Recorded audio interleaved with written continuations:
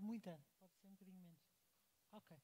Vamos começar, sobretudo em respeito aos que são pontuais, que já levamos 15 minutos de atraso. Uh, Bem-vindos a todos. O som está bom? Toda a gente está a ouvir? Vou manter os óculos, senão não leio, não leio nada. Uh, bem, bem-vindos ao 23º Festival do Clube de Criativos de Portugal. Primeiro tenho que dizer que é uma alegria enorme uh, voltar a ver gente na sala. Ainda somos poucos, mas já é, já é símbolo de alguma coisa aqui. Eu acho que acho que muitos de nós já nos esquecemos que vivemos uma pandemia durante o ano e meio, já estamos a conseguir voltar a alguma normalidade, mas quer dizer, isto é fundamental e os últimos dias em que temos estado aqui em votações neste espaço têm sido a prova de como não é a mesma coisa e felizmente estamos a poder voltar a, a ser gente que é, que é um bocadinho mais do que sermos máquinas em casa a trabalhar ligados a um ecrã. Um, eh, nós uh, começamos hoje oficialmente uh, este festival. Como sabem, todos os anos temos um tema.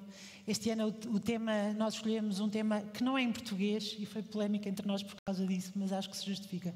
O tema é Transformers. Pareceu-nos que era uma boa imagem para representar um, algo que foi muito especial para muita gente, que foi aquilo que nós vivemos no ano e meio, em que de repente houve uma mudança tremenda em tudo nas nossas vidas, na forma de trabalhar, na forma de nos relacionarmos, na forma de ir à escola, em tudo, mas que na verdade para nós, enquanto profissão, uh, não é assim tão novo, porque todos nós estamos habituados há muitos anos a viver diariamente com, uma, com mudanças muito rápidas de paradigma, de disciplina, de mercado, de contexto, nas agências, na forma de trabalhar, uh, mas também sabemos que o essencial uh, mantém-se, que é conseguir chegar às pessoas e, gerar, e, e, conseguir ter ideias que gerem valor e conseguir fazê-las de uma boa forma. E nós achamos que, que este festival uh, devia ter este tema, ser uma reflexão sobre, de facto, a importância sermos ágeis na adaptação e de aceitarmos que a mudança é algo que faz parte. Agora estamos à beira de conseguir ultrapassar uma pandemia, que foi algo que nunca se tinha vivido na nossa geração. Um, outra grande mudança virá a seguir e pronto, e acho que, é, acho que estamos todos bastante conscientes de que estamos aqui, se não nos acontecer nada de mal, para, para fazer face às mudanças que virão e para juntos conseguir encontrar soluções. E este festival é muito sobre isso e as disciplinas que representamos, publicidade e design, de uma forma muito ampla, são muito sobre isso também, uh, em duas áreas que para nós, direção do CCP, cruzam muito economia e cultura, e é aí que nos gostamos de posicionar, e este festival é uma homenagem a isso que nós fazemos todos os dias e do qual nos orgulhamos muito. Temos que começar por agradecer, há sempre agradecimentos, o primeiro agradecimento de todos à ETIC, Uh, e na figura da Manuela Carlos, diretora da escola, que está aqui e que nos vai dizer umas palavras. Há muitos anos que a ETIC nos acolhe aqui uh, nesta casa que é deles, mas que para nós já é nossa, desculpa à vontade. Agradecemos muito podermos contar com vocês. Vocês próprios também são um centro de criatividade e gostávamos de ouvir umas palavras da Manela Carlos. Eu convido agora a vir ao palco.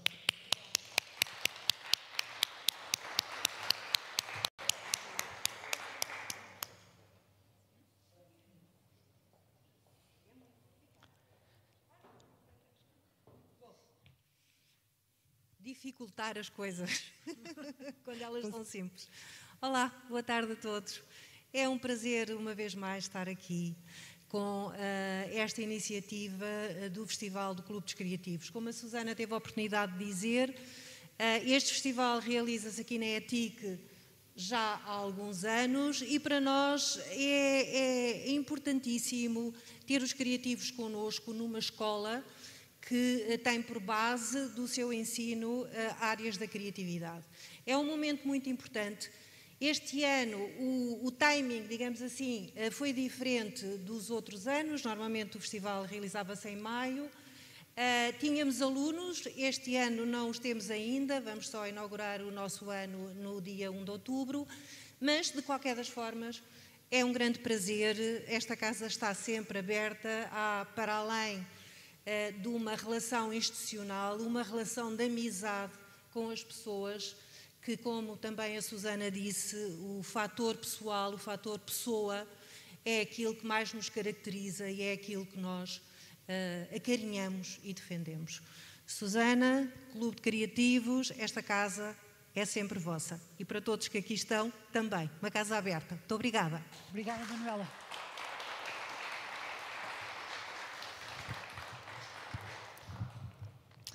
Nós vamos continuar pelos agradecimentos. Um, vamos ser relativamente rápidos. Optámos aqui por uma versão abreviada dos agradecimentos, em que podemos ver todas as marcas, parceiros, media partners que nos apoiam. Temos que destacar a Câmara Municipal de Lisboa pelo apoio e pela coorganização do festival e a Junta de Freguesia de São Vicente, que nos dá casa e que dá sede ao clube durante o ano inteiro. Uh, e muito obrigada a todos os uh, sponsors das várias categorias do festival, todos os media sponsors que nos ajudam a divulgar e a todas as entidades e empresas que apoiam o festival das diferentes maneiras. O festival começou na terça-feira, dia 21, com votações presenciais aqui na ETIC. Eh, os vários grupos de júri encontraram-se e começaram os trabalhos. Duraram dois dias, mais um, que foi hoje, em que tivemos a votar o Grande Prémio. Ontem já aconteceu primeiro um webinar gratuito, ainda dentro da sequência que temos feito Design Systems Tratados por Tu. Desta vez o Ruben Ferreira Duarte convidou o Marco Cardoso da Adidas. Uh, e para saberem tudo o que vai acontecer, uh, podem descarregar a app do festival, uh, tem a programação com, completa. Hoje estamos aqui reunidos, aqui e as pessoas que nos estão a ver em casa, para vermos presidentes ao palco. Nós tivemos seis super presidentes a presidir as, às categorias do festival e não os queríamos deixar ir embora sem os ouvir um bocadinho. São figuras absolutamente incontornáveis nas diferentes áreas, mercados, disciplinas onde trabalham e nós gostamos muito de, de os ter connosco e que vamos querer ouvi-los e é, a noite de hoje vai ser sobre isso. Amanhã, dia 24, uh, eh, aqui também na ETIC, vai acontecer o Ilustra 33, mais uma vez. Um, e desta vez, pela segunda vez, vamos fazer um hackathon. Vamos ter aqui pessoas ao vivo a ilustrar. Desta vez, vamos ter 33 ilustradores escolhidos pelo Jorge Silva, da Silva Designers, que mais uma vez é o curador na iniciativa. E desta vez é uma, é, há uma diferença. Ele convidou 33 ilustradores que são finalistas de escolas de ilustração do país inteiro. Portanto, é completamente sangue novo, nomes desconhecidos. E eles vão estar aqui a ilustrar ao vivo uh, o tema do festival, com o patrocínio da EDP Uh, e vão ser as obras que vão sair desse evento amanhã, que é público e que as pessoas podem vir assistir à ilustração ao vivo. É daí que vão sair as 33 obras que nós depois vamos pôr naquilo que é a exposição da Ilustra 33 deste ano. Muito rapidamente, na próxima semana, uh, vamos ter um novo formato também. Uh, Chamámos-lhe Trabalho e Conhaque. Vão ser quatro conversas informais com o máximo de 40 pessoas sobre quatro temas diferentes que nós pensamos que são importantes e atuais uh, na nossa atividade. Uh, vão acontecer no espaço da House of Open Dreams, em Belém. Uh, nós já não temos muitos lugares, mas ainda temos algumas vagas para todas as noites. Através da app vocês podem inscrever-se e comprar o bilhete. Na verdade, comprando o bilhete para a tertúlia, dá-vos o direito de participar na tertúlia, portanto, conversar sobre o tema daquela noite, ouvir e falar, e depois também ter um jantar, isso está incluído no bilhete, um jantar servido por um chefe emergente. Vão ser dois chefes emergentes, um homem e uma mulher, a cozinhar nas quatro noites. Uh, achamos que vai valer a pena e convidamos mesmo a fazer parte, e é daquelas coisas que, se não houver gente para conversar, uh, o formato não faz sentido, portanto, é mesmo importante uh, contar com a, com, com a presença de todos. Os quatro temas que nós escolhemos para conversar, o da primeira noite, segunda é como internacionalizar o nosso trabalho. É muito importante ouvir quem tem coisas a dizer sobre isto, mas também quem tem inquietudes e que gostava, mas não sabe como. Esta noite vai ser sobre isso. A segunda noite vai ser como atrair e reter talento. Neste momento, o mercado está muito fragmentado. Há criativos em todas as entidades, há criativos aqui a trabalhar para o mundo inteiro, há pessoas que se foram embora, há pessoas que querem vir para cá. Então, como é que o nosso mercado consegue atrair e reter talento, hoje em dia, dentro da criatividade. No dia a seguir, na quarta, uh, neste mundo pós-pandemia, como é que se organiza uh, as, estas novas equipas híbridas? funciona? Como é que vai funcionar? Onde é que fica a cultura da empresa? Mais uma vez, temos mais perguntas do que respostas, mas vamos querer saber como é que diferentes pessoas estão a fazer e o que é que tem de bom e o que é que tem de mau. E, por fim, temos um tema para quinta-feira, o último da noite, que é Mulheres da Criatividade, aquele grande tema por resolver. Ainda somos poucas, ou há muitas, porquê é que não sobem? Porquê é que se ficam só pelos lugares de entrada? Porquê é que são sempre só accounts, ou estão nas agências de mídia, ou são designers, e há tão poucas diretoras criativas e tão poucas CEOs? Vamos querer conversar sobre isso, ouvir algumas mulheres que decidiram fazer esse percurso e que têm, ocupam esses lugares de liderança, mas também queremos ver, ouvir outras, porque é que não querem, ou porque é que não conseguem, o que é, quais são os obstáculos é uma ladies night, mas qualquer homem que se queira juntar, nós gostávamos muito de ver homens também, porque isto não é um assunto, é sobretudo um assunto que não é só nosso, acho que é de todos. Um, isto são os jantares e as tertúlias. Depois a gala. Este ano, mais uma vez, uma novidade. Não vai ser nem física uh, nem digital, vai ser híbrida. Nós vamos ter, uh, já conseguimos fazer alguns eventos físicos, vamos querer fazer uma pequena festa com, com o clube uh, e com os premiados, mas temos uma limitação de capacidade. Obviamente que se soubéssemos o que sabemos hoje, se calhar já podíamos estar aqui 800 pessoas, como é costume, mas nós tivemos que planear isto com algumas semanas de antecedência e não quisemos arriscar. Portanto, o formato vai ser híbrido, vai ser transmitido em direto no site do clube no dia 1 de outubro, desde os estúdios da Main Vision, e vai ser transmitido a partir das 5 da tarde. Um, sem mais demoras, vamos começar o motivo pelo qual estamos juntos aqui, que são os presidentes ao palco. Por isso, eu vou chamar, uh, infelizmente por Zoom, uh, a nossa primeira convidada, a Luciana Carni. Uh, ela é Executive Creative Director da AQQA em Portland, nos Estados Unidos, e ela foi a presidente da categoria de publicidade este ano no festival. Lu, não sei se já estás aí ligada. Estás. Vamos ouvir a Lu? Eu vou. E ela foi a presidente Olá, da categoria de publicidade este ano no Bem? festival. Ah, ótimo. Não sei se já Bom, estás boa noite. tá. Ah, primeiro eu queria dizer muito, muito obrigada a Suzane e ao clube. Eu fiquei muito honrada quando eu recebi esse convite. Eh, não esperava. Enfim, eu tenho um respeito enorme pelo mercado português. Eh, eu passei nove anos trabalhando aí. Fui embora com uma dor imensa no coração. Enfim, fico muito, muito feliz de voltar e reencontrar as pessoas. Infelizmente, ah, quando eu recebi esse convite, eu ainda estava trabalhando em Tóquio. Ah, eu sabia que eu poderia ir. E nesse meio do caminho entre o convite e o festival, acabei ah, mudando de trabalho ah, e, e vim para os Estados Unidos. E, caminho. Desculpa, tenho que te pedir, nós estamos a ouvir a tua voz com muito feedback. Podes. É o streaming? Tens o streaming ligado? O que é que isso quer dizer? Ah, eh, desliga a emissão. Ou então desliga o som da emissão. Eu acho que tu tens a, a transmissão do streaming ligada e nós estamos a ouvir feed, estamos a ouvir em duplicado. Agora não estamos a ouvir tudo. Agora não estamos a ouvir ainda? Agora não estamos a ouvir tudo. Agora não estamos a ouvir ainda? Agora não estamos a ouvir tudo. Agora não estamos a ouvir ainda? Podes ligar o som do Zoom? Sim, eu liguei o som. Agora já está a ouvir bem. Agora não está ótimo. ainda? Tá melhor? Podes ligar o som do Zoom? Sim, eu liguei o som. Então, Agora já está a ouvir conseguem? Ok, senão. Desculpa. Bom, vou voltar só para só para dizer novamente um obrigado. Conseguem? Ok, senão. Ou não? Desculpa. Ok. Bom, vou voltar É, só para só para dizer novamente um Sim? obrigado. Só me avisem. Suzana, tá ok? O som? Não. Desculpa, bom. Não. Vou voltar É, só para só para dizer novamente um Sim. obrigado. Só me avisem. Suzana, tá ok? O som? Não. Desculpa, bom. Experimenta, podes experimentar pôr os headphones para ver se funciona. Só me avisem. Suzana, tá ok? O som? Não. E tens que desligar o YouTube. Tens me- eu acho que tens mesmo que desligar o YouTube. Os headphones para ver se funciona. Só me avisem. Suzana, tá ok?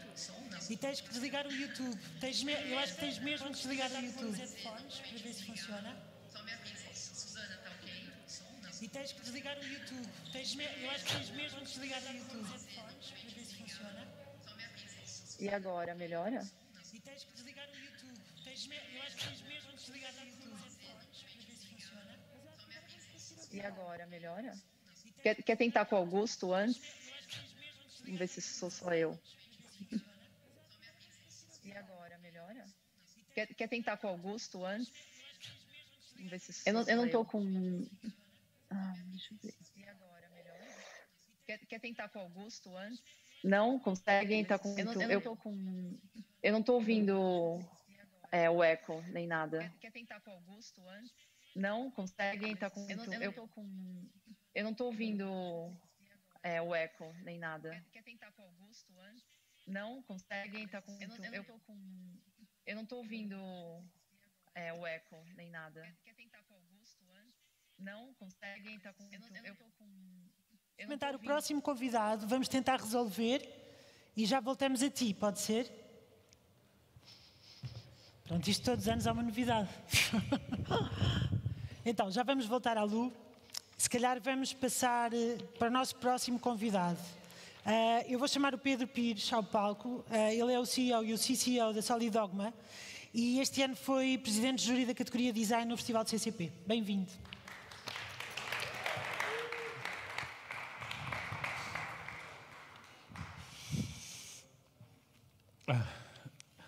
Olá, boa tarde a todos. Trouxe uma cábula. Eu tenho aí uma, uma apresentação.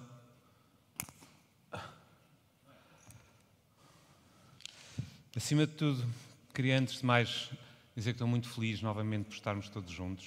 Estamos, somos poucos, mas acho que, que isto é simbólico e espero que todos aqueles que nos estejam a ver uh, uh, nos vários sítios onde nos podem ver um, compreendam que este, que este é um momento muito importante para o CCP, uh, depois de um ano e meio, quase dois anos de, de presença física, de, de vivência daquilo que é o festival. Acho que começamos agora novamente a ter este este bocadinho. Ah, já cá estão. Pronto, escuso de continuar a falar de outras coisas. Mas, hum, mas obviamente que um, para quem vive o clube isto é muito importante e, portanto, acho que, que temos que uh, honrar e dignificar a ocasião. Eu não venho falar de mim, nem do tema, nem de publicidade, nem de design, nem nada dessas coisas. A minha mensagem é só esta. Em 1505, Claude Garamond tornou-se na primeira pessoa a desenhar letras por profissão e a lançar a transformação que mais tarde viria a dar origem ao design gráfico. Em 1796 é editado postumamente o livro Jacques, o Fatalista, de Diderot, que contribui juntamente com o resto da sua obra para transformar o alcance popular da filosofia e provoca aquilo que se conhece hoje como filosofia anarquista, o nascimento da filosofia anarquista. Em 1895, o escritor Oscar Wilde é preso por indecência e condenado a dois anos de trabalhos forçados. Morreu três anos depois em França. A coragem de ter assumido o julgamento em vez de fugir obrigou a sociedade a assumir a questão da homossexualidade e transformou a forma como discutíamos a estética e marcou em definitiva a nossa entrada na modernidade. Foi a primeira celebridade mundial.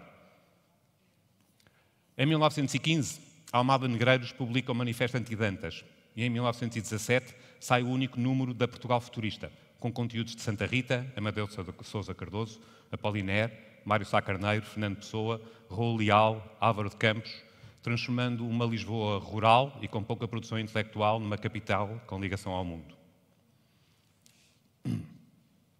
Em 1935, George Gershwin estreava na Broadway Porgy and Bess, com um elenco totalmente composto por negros e transforma para sempre o conceito de ópera. Em 1946, Boris Vian escreve A Espuma dos Dias e Irei cuspir-vos nos, cuspir nos túmulos e Outono em Pequim.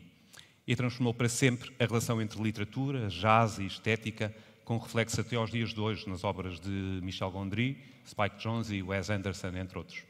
A mim, transformou uma forma como eu olhava para a literatura.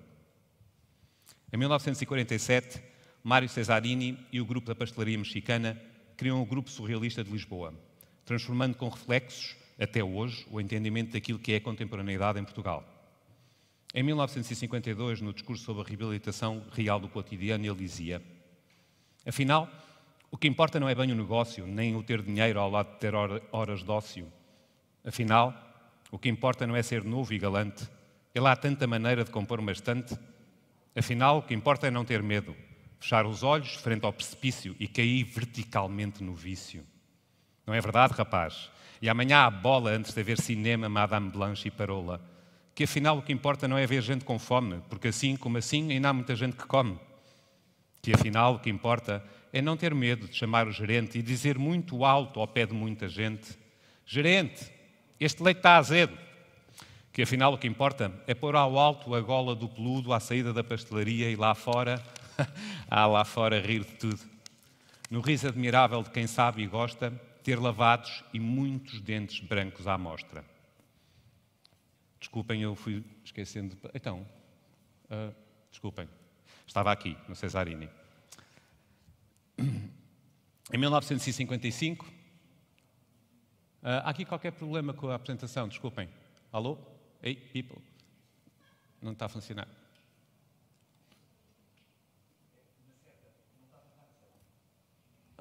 Eu estou.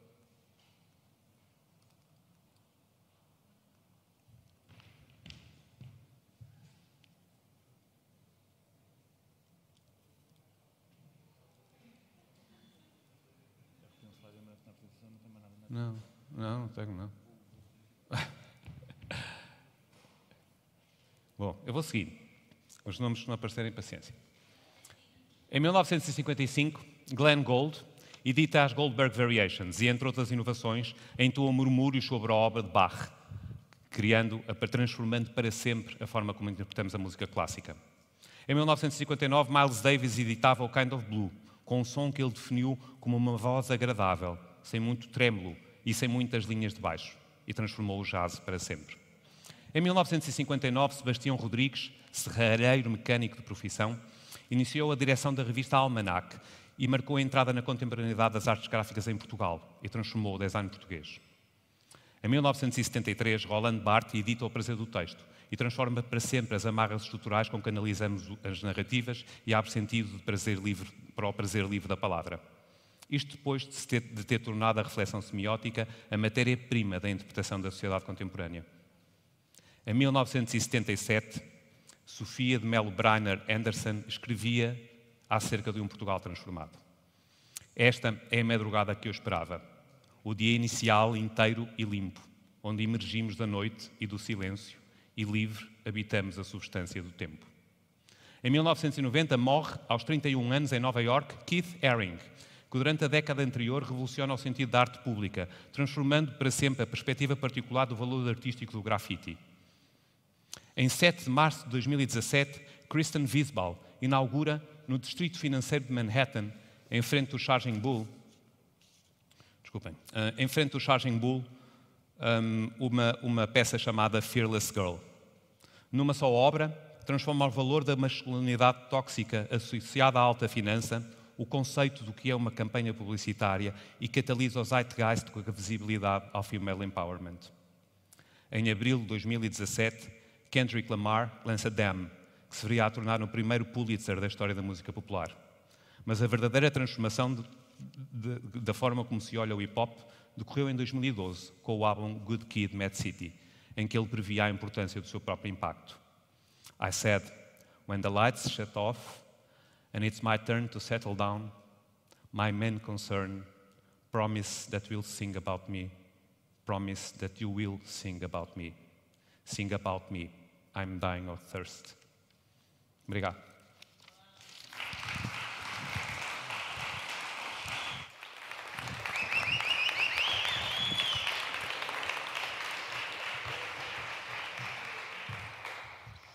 Obrigada, Pepe.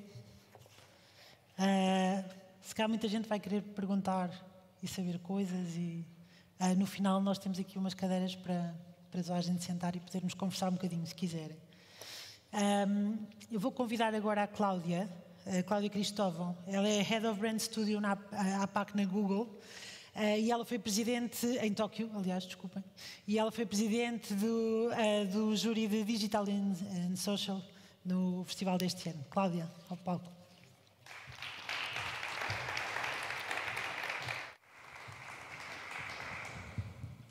Obrigada.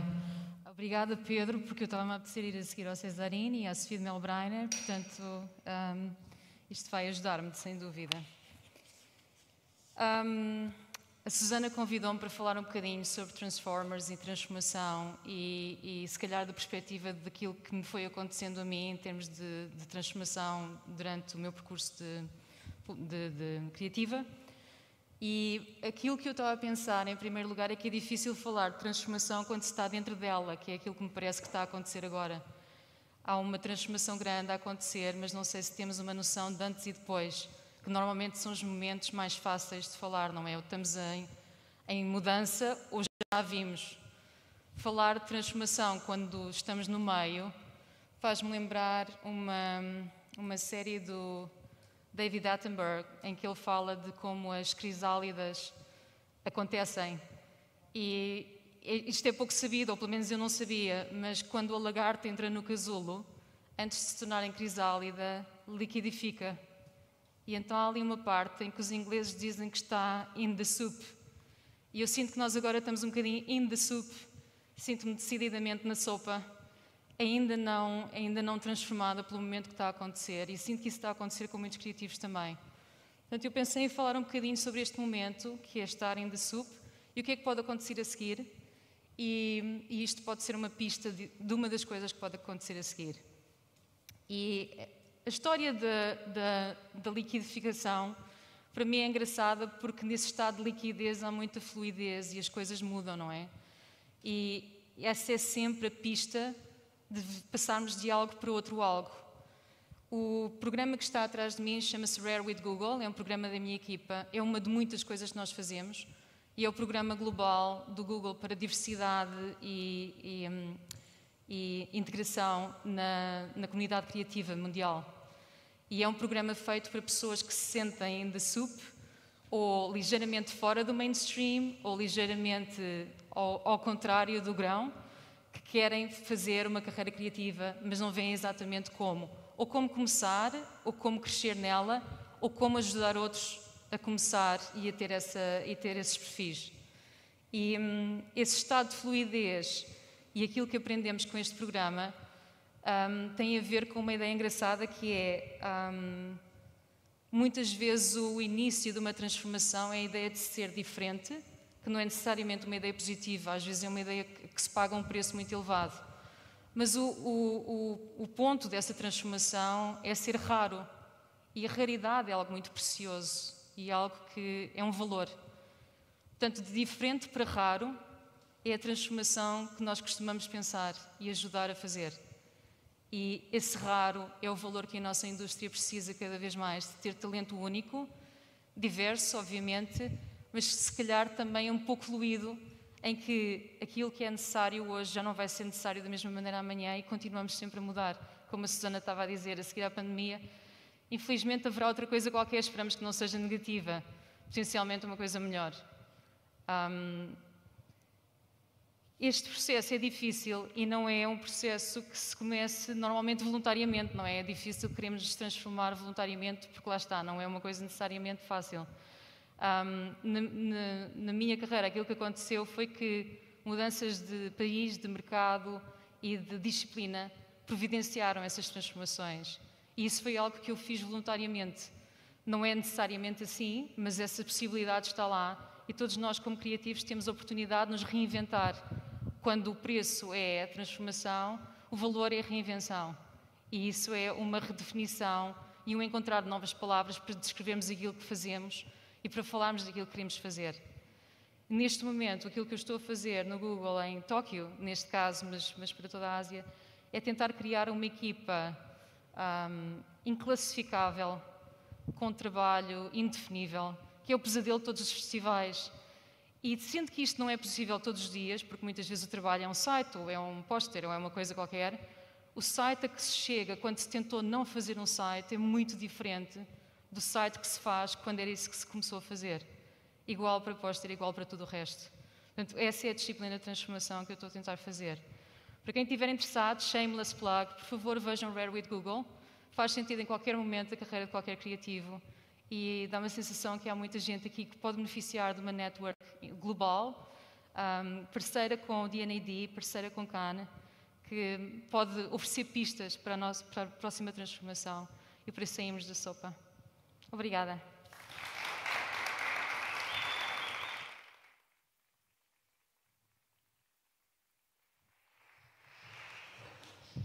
Obrigada, Cláudia. Uh, vamos recuperar, vamos tentar recuperar a ligação com a Luciana. Acho que o problema já está resolvido. Um... Será? Será? Conseguem ouvir? Então, agora sim, vamos ouvir a Luciana Cani, Executive Creative Director da AQQA em Portland, nos Estados Unidos. Ela foi presidente da categoria de publicidade este ano no Festival do CCP. Bom, ah, provavelmente vocês não ouviram antes, só para repetir aqui, um muito obrigada à Suzane e ao clube. Eu fiquei muito, muito honrada com esse convite. É, eu passei nove anos no mercado português, eu me considero um pouco portuguesa, às vezes acho Portugal ainda é mais minha casa do que o Brasil. Enfim, tenho um carinho, um amor enorme e um respeito gigante por esse mercado. Ah, infelizmente, não, não pude viajar por restrições, enfim, ah, como todos sabem, estamos em tempos difíceis, mas, ah, enfim, muito feliz de estar com vocês. Bom, vou. Uh, uma apresentação. Vamos ver se. Uh, alguém tem que me deixar aqui fazer um share no screen. Ok, obrigada. Um, conseguem ver? Sim? Uh, sim. Ok. Bom, uh, e assim, também? Sim, está tudo ok, estamos a ver bem. Ótimo. Ótimo. Então, muito bem, eu queria aqui falar de um tema do Transformers, né? Se a gente está falando sobre transformação e adaptação, tem para todo mundo que trabalha nesse mercado, principalmente, nem precisa trabalhar muitos anos, mas enfim, eu trabalho há 25 anos nesse mercado e quando você olha para trás e pensa tudo que se transformou, uh, tudo que mudou, parece que é quase uma nova indústria. E tem algo que, que eu queria tirar um pouco o foco de tentar fazer uma previsão de como as coisas vão ser no futuro e tentar olhar para o profissional, para a pessoa, né? E essa pessoa que tem que estar constantemente acolhendo as mudanças e tentando se adaptar a elas. Um, e se a gente for pensar né, que comportamento, né, a, além da, das habilidades técnicas, tem umas certas habilidades emocionais e comportamentais que nos ajudam a, a, a superar e, e, e, acolher a mudança né, com mais paz, com mais tranquilidade, sabendo que não é só a habilidade técnica, que é óbvio que ela precisa existir, a nossa indústria vai se transformando, a gente precisa aprender novas. Um, novas coisas, a gente precisa aprender mais sobre os novos meios, a gente precisa aprender olhando lá para trás, ah, quando teve a transformação digital. Enfim, tem muita gente que no meio de toda essa transformação acaba ficando pelo caminho, né? Uh, e às vezes, às vezes não é por falta da habilidade técnica, mas às vezes é por falta de, de uma certa uma certa facilidade de uh, levando e, e, com as mudanças, né? Eu acho que isso é, é, é, muito, muito comum. Então, eu queria falar um pouco sobre soft skills, uh, porque em tempos de mudanças e enfim, que vão acontecer, é, e agora a gente está vivendo um tão marcante, soft skills é, é, mais importante do que nunca. E de uns tempos para cá, coisa de alguns anos para cá, começou a se falar mais e mais. Hoje em dia você até tem cursos em universidades, enfim, focados em soft skills, e, e, muita gente fala sobre isso de um, de um jeito, ah, mas isso é uma coisa que, que você nasce com ela, tem a ver com a sua personalidade. Sim e não. Tem muita coisa soft skills que é algo que vem naturalmente com a sua personalidade, né? Que você tem ali uma inteligência emocional, um jeito de se comportar, um jeito de entender uh, uh, certos, uh, enfim, pode ser conflitos ou, ou desafios que se propõem e que, que é muito natural, que às vezes você tem isso na sua vida e você aplica na sua vida profissional sem pensar. Mas tem uma série de soft skills que você pode aprender, né? E que você pode perceber, poxa, eu não sou tão bom aqui, eu tenho como aprender isso. Então, um pouco que eu faço aqui é um, é um convite a uma análise, eu faço um pouco comigo essa análise. Foi até interessante montar essa apresentação, porque realmente parei para pensar. E é um, um pouco esse convite que eu quero propor para as pessoas. Então, vamos lá. Então, quando você pensa no Covid, né, tudo isso que a gente tem vivido, que todo mundo achou que ia ser um, um período que, enfim, nessa altura as coisas já estariam normais. Enfim, isso propôs uma série de, de mudanças um, e, e não, aqui a gente não está falando claramente de habilidade técnica, né? Não é só uma transformação da nossa indústria no sentido, ok, a gente tem que se preparar como profissionais e aprender certas coisas. Não, aqui toda essa, essa alteração que a gente começou a viver, de trabalhar de casa, enfim, de, de, de conduzir reuniões, assim como a gente está fazendo agora, Uh, como que a gente se conecta, continua conectado com o time, se cada um está trabalhando em um lugar, como que a gente se aproxima dos clientes como a gente dá feedback, porque antes o feedback também não era uma coisa que às vezes acontecia naturalmente dentro né, da, dos escritórios, a gente estava ali no dia a dia, conversava com uma pessoa. Hoje em dia não, você tem que marcar uma reunião, você tem que ligar, aquela pessoa tem que estar disponível. Enfim, uma série de coisas que, de novo, não tem a ver com habilidade técnica, tem a ver muito com o jeito do soft skill que você emprega tudo isso que você está aprendendo, né? E que você já tem naturalmente também, e como você vai lidar com isso. Então, aqui eu acho que é tão interessante nesse período olhar quais são as pessoas que conseguem fazer isso melhor, né? Se você for pensar, alguém que não, que não consegue, por exemplo, delegar, no momento como esse, está passando, um, tá passando um, um, problema gigante, né? A, a, a, apesar de tudo, de todas as transformações, para essa pessoa é muito mais difícil esse período de trabalhar à distância. Então, são uma série de ah, de coisas que, que a gente precisa de repente aprender e é um bom momento para fazer uma avaliação e pensar, poxa, talvez eu tenha que ser melhor nisso, né? Então, eu fui dar uma olhada, quais são os soft skills, né, que, que são muito importantes, que se falaram, obviamente, é, no começo desse ano, que eram muito importantes para essa transformação. Hum. Então, é, é, é, muito conectado com o momento que a gente está passando. Se você for pensar, escutativa, o que, é escutativa? É você tentar entender para além das palavras, né? Para além daquilo que está sendo dito. Então, isso é, é, um soft skill fundamental se você tem uma reunião, por exemplo, principalmente assim no Zoom, ah, onde as pessoas geralmente não ficam, não tem aquele small talk, né? Nem no começo, nem no final, tem aquela reunião, as pessoas desligam. E você tentar entender ali, né? Naquela conversa, aquela pessoa está ansiosa, aquela pessoa está tá motivada com o trabalho, não está, aquela pessoa está se sentindo isolada. É uma série de coisas que são tem uma inteligência ali para além daquilo que está sendo dito, tentar perceber. Isso o que? Isso vai ajudar na dinâmica do time, a ser uma, um, um melhor líder, uma série de coisas que poxa, será que a gente não tem que aprender a escutar um pouco mais o que está sendo dito? Mais do que nunca, né? Adaptação, é super claro porque que isso virou um soft skills tão fundamental no momento de transformação, né, tão, tão gigantesco. A comunicação, óbvio, né? Aqui tem muito, uma parte, assim, como líder, eu tenho pensado muito o que é comunicar demais e o que, que é o comunicar pouco, né? Eu acho que nunca pensei tanto sobre isso, porque coisas que aconteciam naturalmente não acontecem mais, né? Então, às vezes eu passo dias, eu não estou falando com o meu time. E aí eu penso, tem que comunicar isso, será que eles estão sabendo? As pessoas perderam a visibilidade do que cada um está fazendo, porque eles não estão mais no meio né, de uma agência vendo o que cada um está fazendo. Então, às vezes, você tem que ligar e tentar conectar esses times que não estão envolvidos no mesmo trabalho para que eles pertençam ao mesmo time.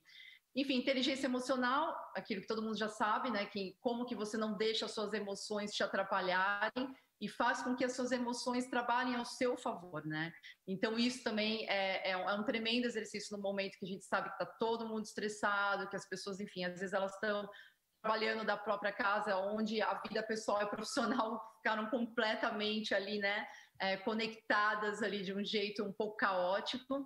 Uh, inovação, mais do que nunca, repensar como a gente tem feito as coisas, repensar processos, ser inovador, né? É, questionar coisas, reinventar modos da gente fazer o, o, que a gente faz diariamente. E trabalho em time, acho que o trabalho em time também é, é, é faz muito sentido estar nessa lista, porque, enfim, a gente tem que aprender a colaborar à distância pela primeira vez e mais do que nunca, né? Trabalhar isoladamente agora custa ainda mais, porque você se desconecta.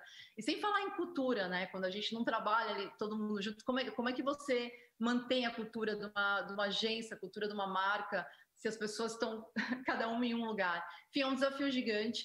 Uh, é muito interessante quando você começa a ler sobre soft skills e entender que Uh, muito dessas listas vêm do, dos recruiters, né? Quando eles estão entrevistando, o que, que eles acham que, que precisam. E, e é muito uh, importante antes, enfim, de, quando você for procurar um trabalho, quando você for se vender, entender aonde é que você é bom aqui no meio desses soft skills.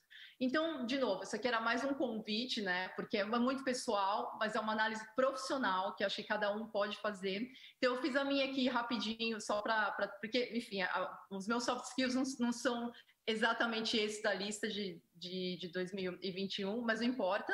Ah, eu acho que é importante que cada um tente achar. Soft skills tem uma lista, enfim, tem tanta coisa que engloba soft skills e, e o que faz. Ah, cada um de nós únicos, né, no que, no que a gente está fazendo, é avaliar o nosso percurso e tentar identificar quais são essas, essas coisas. Então, vamos lá, eu comecei para... Foi muito fácil dividir em, enfim, lugares que eu passei, nas últimas quatro vezes que eu mudei de emprego, mudei de emprego e de país, Uh, mas, enfim, não, não, é isso que é preciso, não é isso que é importante, né? É, é, importante você olhar o seu percurso, talvez através de projetos, talvez através de agências que você passou. Uh, no meu caso, foi através dos países, mas, enfim, cada um faz isso do, do jeito natural. Então, por exemplo, São Paulo, para mim, o que me trouxe foi muito essa minha automotivação. Eu trabalhei 10 anos em São Paulo e, e eu não gostava muito do jeito que a gente trabalhava lá, foi um dos motivos que me fez sair é, é muito competitivo. Ah, eu trabalhava muito naquele esquema. Também São Paulo mudou muito, mas antigamente era muito aquela coisa do três duplas trabalhando no mesmo briefing, sabe? Então era aquela competição. E eu nunca trabalhei bem, eu nunca fui muito feliz num ambiente muito competitivo. Por exemplo, isso é uma coisa que eu não promovo de jeito nenhum na minha equipe. Eu nunca dou um briefing para mais de três, quatro pessoas, ou mesmo mais de duas. Eu coloco o time todo trabalhando em uma coisa junto, né? Esse é meu estilo de liderança. Então, trabalhar, e a gente às vezes não consegue escolher, né? Principalmente no começo da carreira, muitas vezes a gente trabalha abaixo de um estilo de liderança que não é o nosso favorito.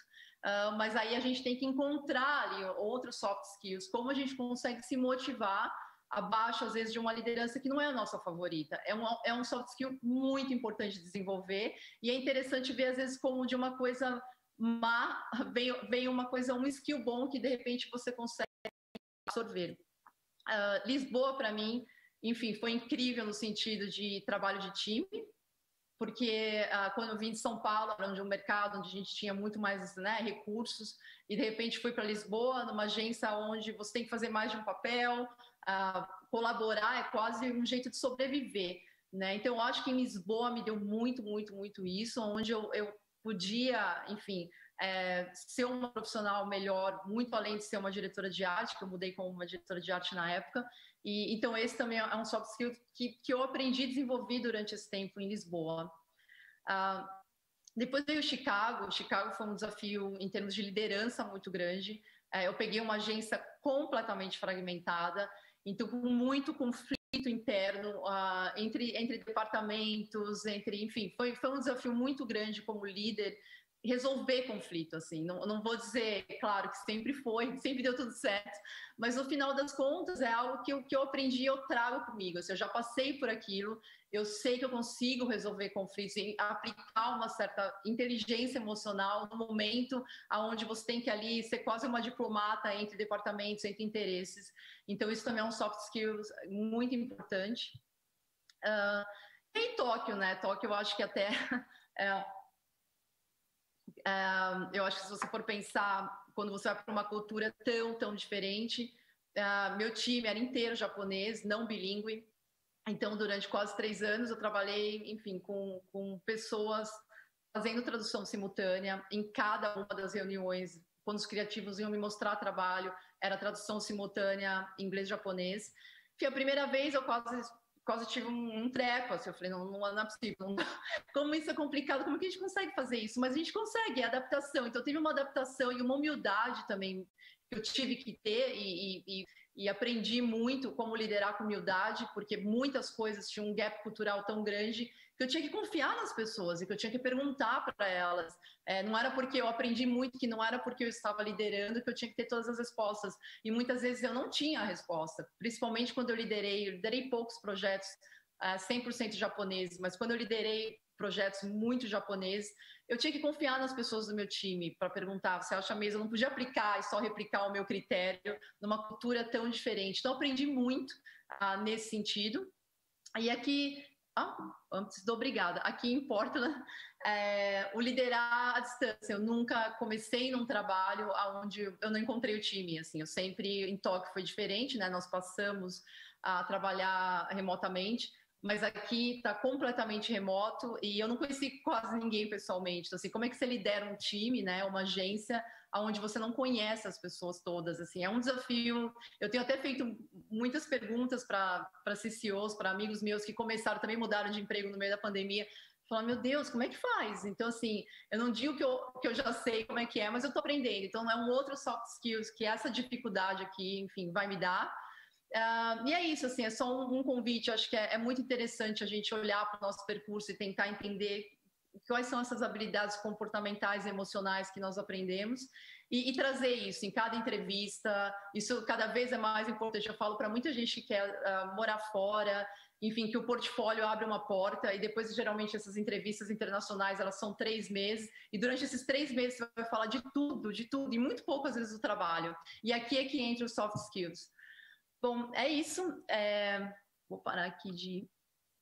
Um, era isso que eu queria dividir. Acho que é importante no momento de transformação. E muito obrigada.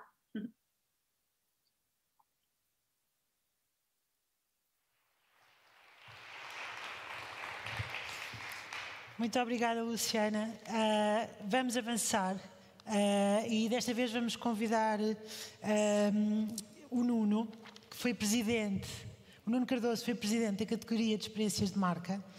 Uh, ele é fundador e diretor criativo na Nossa, Uh, e vai-nos falar um bocadinho sobre o que ele quiser. O que eu quiser. então, boa tarde. Isto de ser o quarta pessoa a apresentar tem algumas vantagens, entretanto, vocês não estão a ver em casa, mas isto encheu completamente, estão centenas de pessoas uh, já aqui na ETIC, parece a Noite de Santos. Uh, gostava de agradecer, em primeiro, o convite ao Clube dos Criativos, uh, mas gostava também de agradecer-lhes não só pelo convite, mas principalmente por uh, conseguirem elevar o nível cada vez mais da organização do, do clube. Eu sei que isto dá muito trabalho, eu sei a dimensão que o clube tem. É, muito interessante e muito especial para nós, criativos, que nada fazemos e que só temos aqui o privilégio de ver e de participar eh, algumas vezes, ver toda a dedicação e o esforço que vocês têm todos e que o nível com que o Clube dos Criativos tem vindo a subir nos últimos anos, eu já tenho alguns e, portanto, posso ser testemunha disso. Muito obrigado à organização todas e aos criativos que trabalham para isto.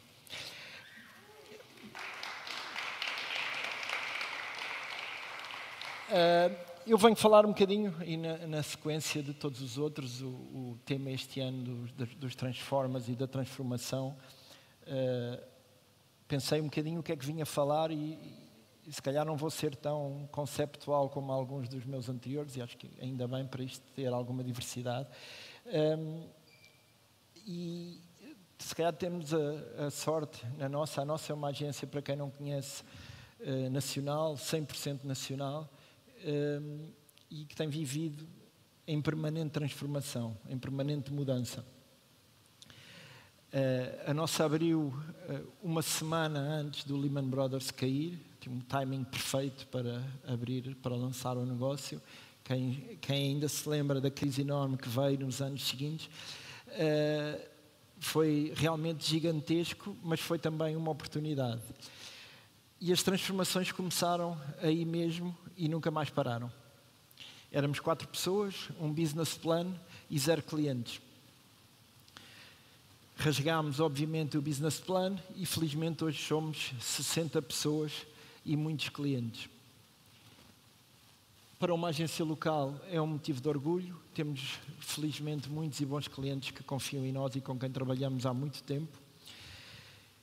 Mas as mudanças não, não ficaram por aí. Começámos como uma agência tradicional, mudámos para uma agência design, mudámos para a agência digital. Há clientes que nos veem completamente, de formas completamente diferentes. Mudámos para experiências de marca, mudámos para a agência de conteúdos, mudámos para a agência tradicional e digital, mudámos de lugar, mudámos até de sócios.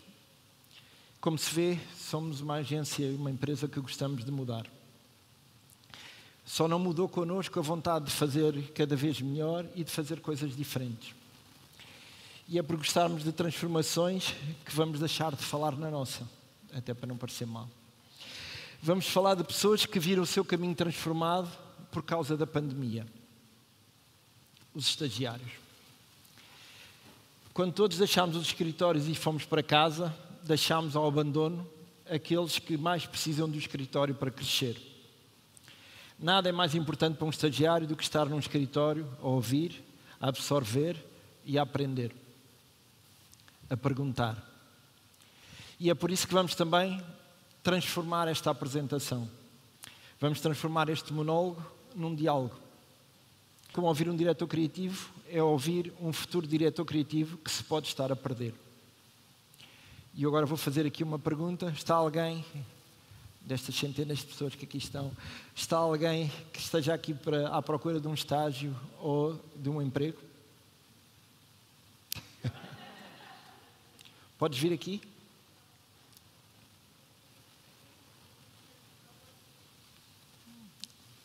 Ah, não tens microfone. Isto não estava preparado.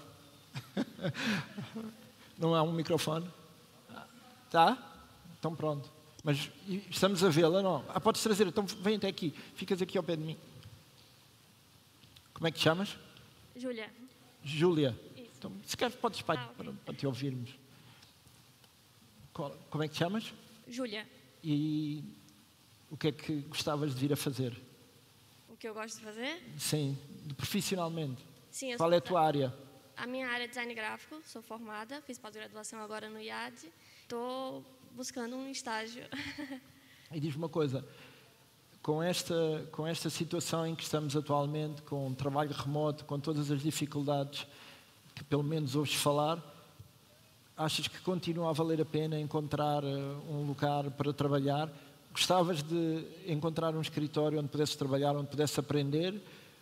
Achas isso fundamental ou acharias que um, estar em casa, uh, longe das outras pessoas, seria uh, igualmente uh, importante?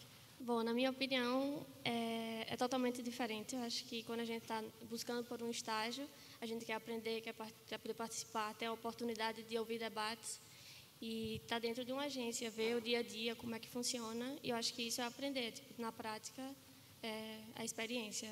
Eu acho que é totalmente diferente você estar tá em casa sem poder interagir com as pessoas com que você está trabalhando diretamente. Acho que dificulta um pouco isso.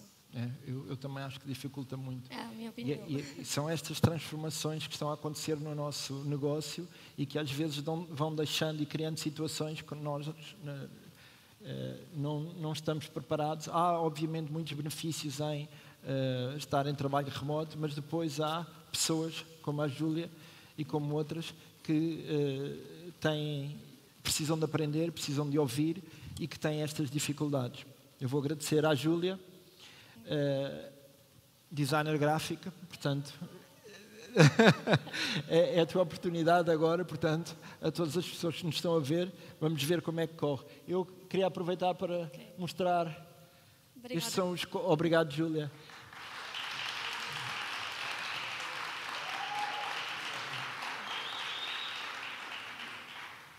Estes são os quatro estagiários que nós temos na nossa, neste momento.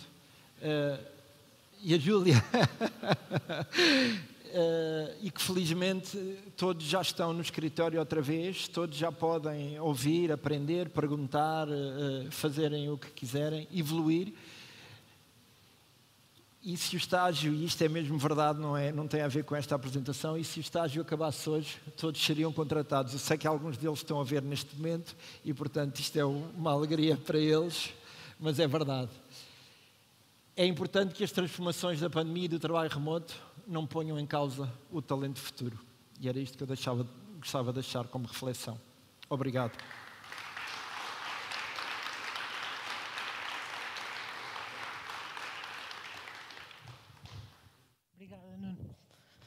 Nós, quando pensámos neste formato, não fazíamos ideia o que é que viria. Eu estou a adorar ali na, na última fila. Uh, vamos passar para o nosso penúltimo convidado da noite. Um, ele também vai estar em remoto porque, infelizmente, teve que sair do país para filmar. Uh, o Augusto Fraga, ele é realizador uh, da produtora Krypton, acho que é sócio da Krypton também, e ele foi o presidente de júri na categoria de craft do nosso festival. Vamos tentar ligar-nos ao já está ali o Augusto. Olá, Augusto. O palco é Olá. teu. Boa noite a todos. Um, é uma honra para já fazer parte do Grupos Criativos e ser convidado para ser presidente do júri de craft. Eu queria só agradecer ao Pedro Mesquita que fez, uh, substituiu-me como nessa qualidade, nas votações presenciais e depois ao júri de craft, ao, ao Guedes, ao João Marques, a Maria Rita da Playground, Patrícia Covera Show Off, João Rola Display, Filipe Carvalho. Sofia Miranda Garage e a Lídia Monteiro de Turismo de Portugal, que foram o grupo de pessoas que, que, juntou, que juntamos para, para votar no craft. Um, claro que depois da apresentação do Pedro Pires e da Luciana vai, vai tudo, e do Nuno também, vai tudo parecer pouco trabalhado. Eu gostava ah, de falar um pouco do meu, uh, da forma como eu abordo o meu approach ao trabalho e, e é essa ideia de transformação e de mudança um, que se aplica ao mercado português. Um, o primeiro, a primeira coisa que eu, que eu tenho, o primeiro ponto de vista é que eu penso sempre no internacional. Ou seja, sempre que recebo um briefing um, em Portugal, em qualquer lado do mundo, uh, penso sempre, a comparação sempre é com o resto do mundo e não com o nosso mercado. Ou seja, a, a questão do nosso mercado é pequeno, o nosso mercado tem bons recursos, não é algo que esteja muito no meu primeiro pensamento, uh, penso sempre o que é que se pode fazer ao nível do que se faz melhor no resto do mundo. Para isso, essa transformação começa, no meu caso, na, em estar super um, aware do que se faz uh, no resto do mundo é? e, e, e, tentar seguir todos os trabalhos através das revistas internacionais e dos sites internacionais que, que, que aparecem de fora. É? Isso não tem nada a ver com inspiração, tem a ver com perceber o que é que está a acontecer na dinâmica de comunicação no mundo. E daí aprende-se bastante, obviamente não conheço as características exatas dos trabalhos que eu vejo de fora, mas há qualquer coisa que vai mudando, é? vai mudando a forma como se filma, a forma como a câmera se mexe, a forma como, como se abordam uh, determinados temas, e isso ajuda um bocadinho a pensar, dizer, ah, será que podemos, podemos também uh, trabalhar, ou seja, eu tento perceber naqueles projetos que vejo de fora o que é que me, emociona, porque é que eu os acho interessantes, e, e em vez de copiar isso para nós, tento aplicar isso na nossa, no, no, nosso projeto, ou seja, aprender com os outros, basicamente.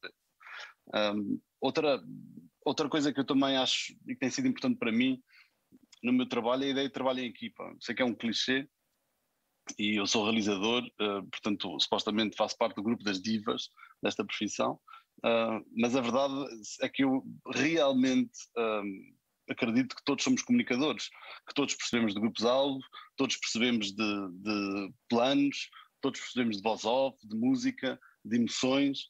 Um, portanto, essa ideia de que todos contribuímos faz com que eu, de facto, acho importante nós ouvirmos todas as pessoas da equipa, desde o diretor criativo, obviamente, ao anunciante, ao account, um, até ao driver, uh, ou até alguém, um assistente de realização que faz um comentário sobre uma narrativa. E, e eu estou sempre a ouvir toda a gente com quem trabalho. Perante essa lógica, há dois pontos fundamentais na minha abordagem ao trabalho que têm a ver um pouco com o tentar não ficar desfasado e tentar ir gerindo a mudança, não é? Um, que são duas, são, são um é a pergunta primeira que é e se, um, e se mudarmos o protagonista, e se mudamos o decor, e se mudamos o final da história, e se for um plano de sequência, um, ou seja, esse, constante e se, e se, que às vezes acaba numa proposta de realização ou, no, ou numa, numa discussão com a, com a agência ou com o cliente, e depois, claro, é o como, e como é que vamos fazer isto, não é? Esta ideia da inspiração internacional é algo que para mim um, durante, tem mudado durante muitos anos, não é? E o que eu vejo hoje é ao máximo evitar copiar o approach ou linguagem que faz a Apple ou que fazem as grandes marcas do mundo, mas apercebi-me que ao longo da minha carreira, quando eu saltei sem paraquedas, sem saber muito bem o que é que estava a fazer, ou seja, com um feeling que aquele podia ser interessante, mas sem ter a certeza absoluta porque nunca tinha sido feito ou porque eu nunca tinha visto feito assim, foram esses projetos realmente marcaram a minha carreira. E, e esse medo que eu continuo a ter quando, quando vou filmar, um, quando há um ponto de risco, no fundo é a minha adaptação às novas, à nova maneira de comunicar e à nova, nova approach visual, seja ele técnico ou narrativo ou estético. Esse, esse, esse desconforto um, é o que é, tem sido na minha carreira o que fez com o que faz com que um, o, o, que venha resultado de trabalho realmente bom. Um, e, e, fui aprendendo disso, é? Portanto, a ideia de transformação fazer-se em equipa, essa visão de equipa, um, também nos ajuda a perceber que o chão está a mudar. Ou seja, quando vemos os outros, eu digo a equipa, desde a equipa que trabalha contigo diretamente até, até às agências que eu trabalho mais pontualmente, um, aos colegas de profissão, outros realizadores, produtores, etc. Um, essa, essa, essas vozes estão sempre a dar alertas de, de esse approach já foi feito, ou, ou podemos dar um passo mais, ou seja, essa, ideia de ouvir toda a gente e de pensar que realmente somos uma equipa, desde o anunciante até, até, até a última pessoa que faz parte do, do, do catering no dia de filmagem, é uma coisa que a mim me tem ajudado muito, porque eu de facto aprendo muito com pessoas. Essa ideia de respeitar todos e depois, claro, tomar decisões desde a honestidade, desde o meu coração e, e desde o trabalho. Não é? Um, tento sempre ser um, obviamente, ser contundente nas decisões e ser um líder de, de, de, nesse projeto, não é? Porque é o que é, um, mas há sempre uma parte de mim que está a ouvir o que toda a gente que eu vou encontrando no processo diz. Havia uma coisa que me diziam quando eu comecei, que dizia que as pessoas que nós encontrarmos quando subimos na carreira são as mesmas que vamos encontrar quando estivermos a descer. E todos vamos subir e depois todos vamos descer. Um, e, e é, é, não é por estratégia, mas por, porque acredito mesmo nisso, tento sempre um, deixar que qualquer pessoa participe e que diga, porque de facto muitas vezes há uma nota, uma ideia, um comentário que, são, que pode fazer com que aquele projeto seja mais e tenha aquele extra mile que, que nós, os, os, experientes, não tínhamos, não tínhamos visto.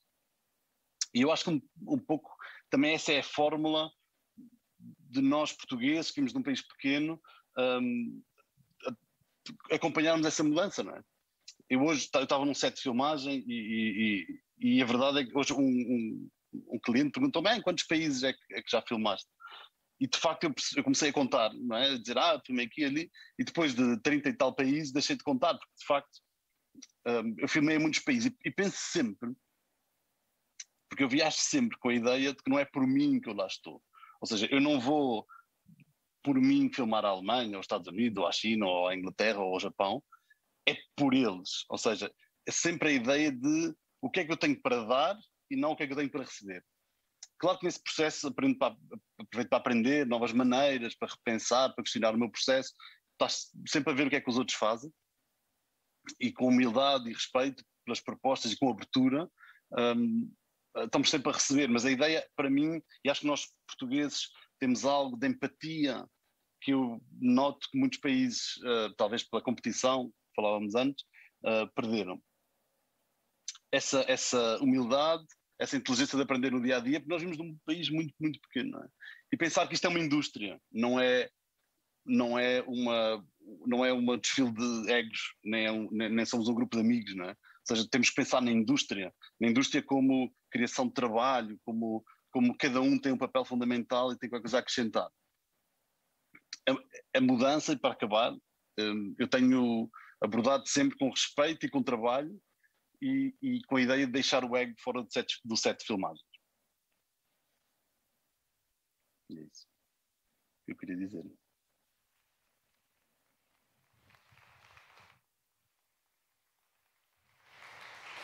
Obrigada, Augusto, e obrigada por teres ligado. E vamos para o nosso último convidado da noite. Não são já embora, porque depois podem ter a oportunidade de perguntar e de ouvir. Uh, eu vou convidar o Rodrigo Albuquerque. Uh, o Rodrigo é diretor executivo da Arena uh, em Portugal e ele foi o presidente de júri na categoria de meios no festival este ano. Bem-vindo. Obrigado. Obrigado. Isto não se faz. Por aqui o quadradão da mídia a fazer a última apresentação. Está tudo a pensar na, na, na apresentação da Cláudia na parte da sopa. Já. Enfim, bom, então, hum, o que é que se espera de uma apresentação da malta da mídia? Normalmente, o que é que se espera? Números. Normalmente são os que vêm trazer números. Eh, depois da parte gira, do conceito criativo e dos bonequinhos, etc., uh, vêm, os, vêm os números, a parte chata. Normalmente são números uh, com cifrões à frente, são euros. Quanto é que custa a campanha, quanto é que é por meio.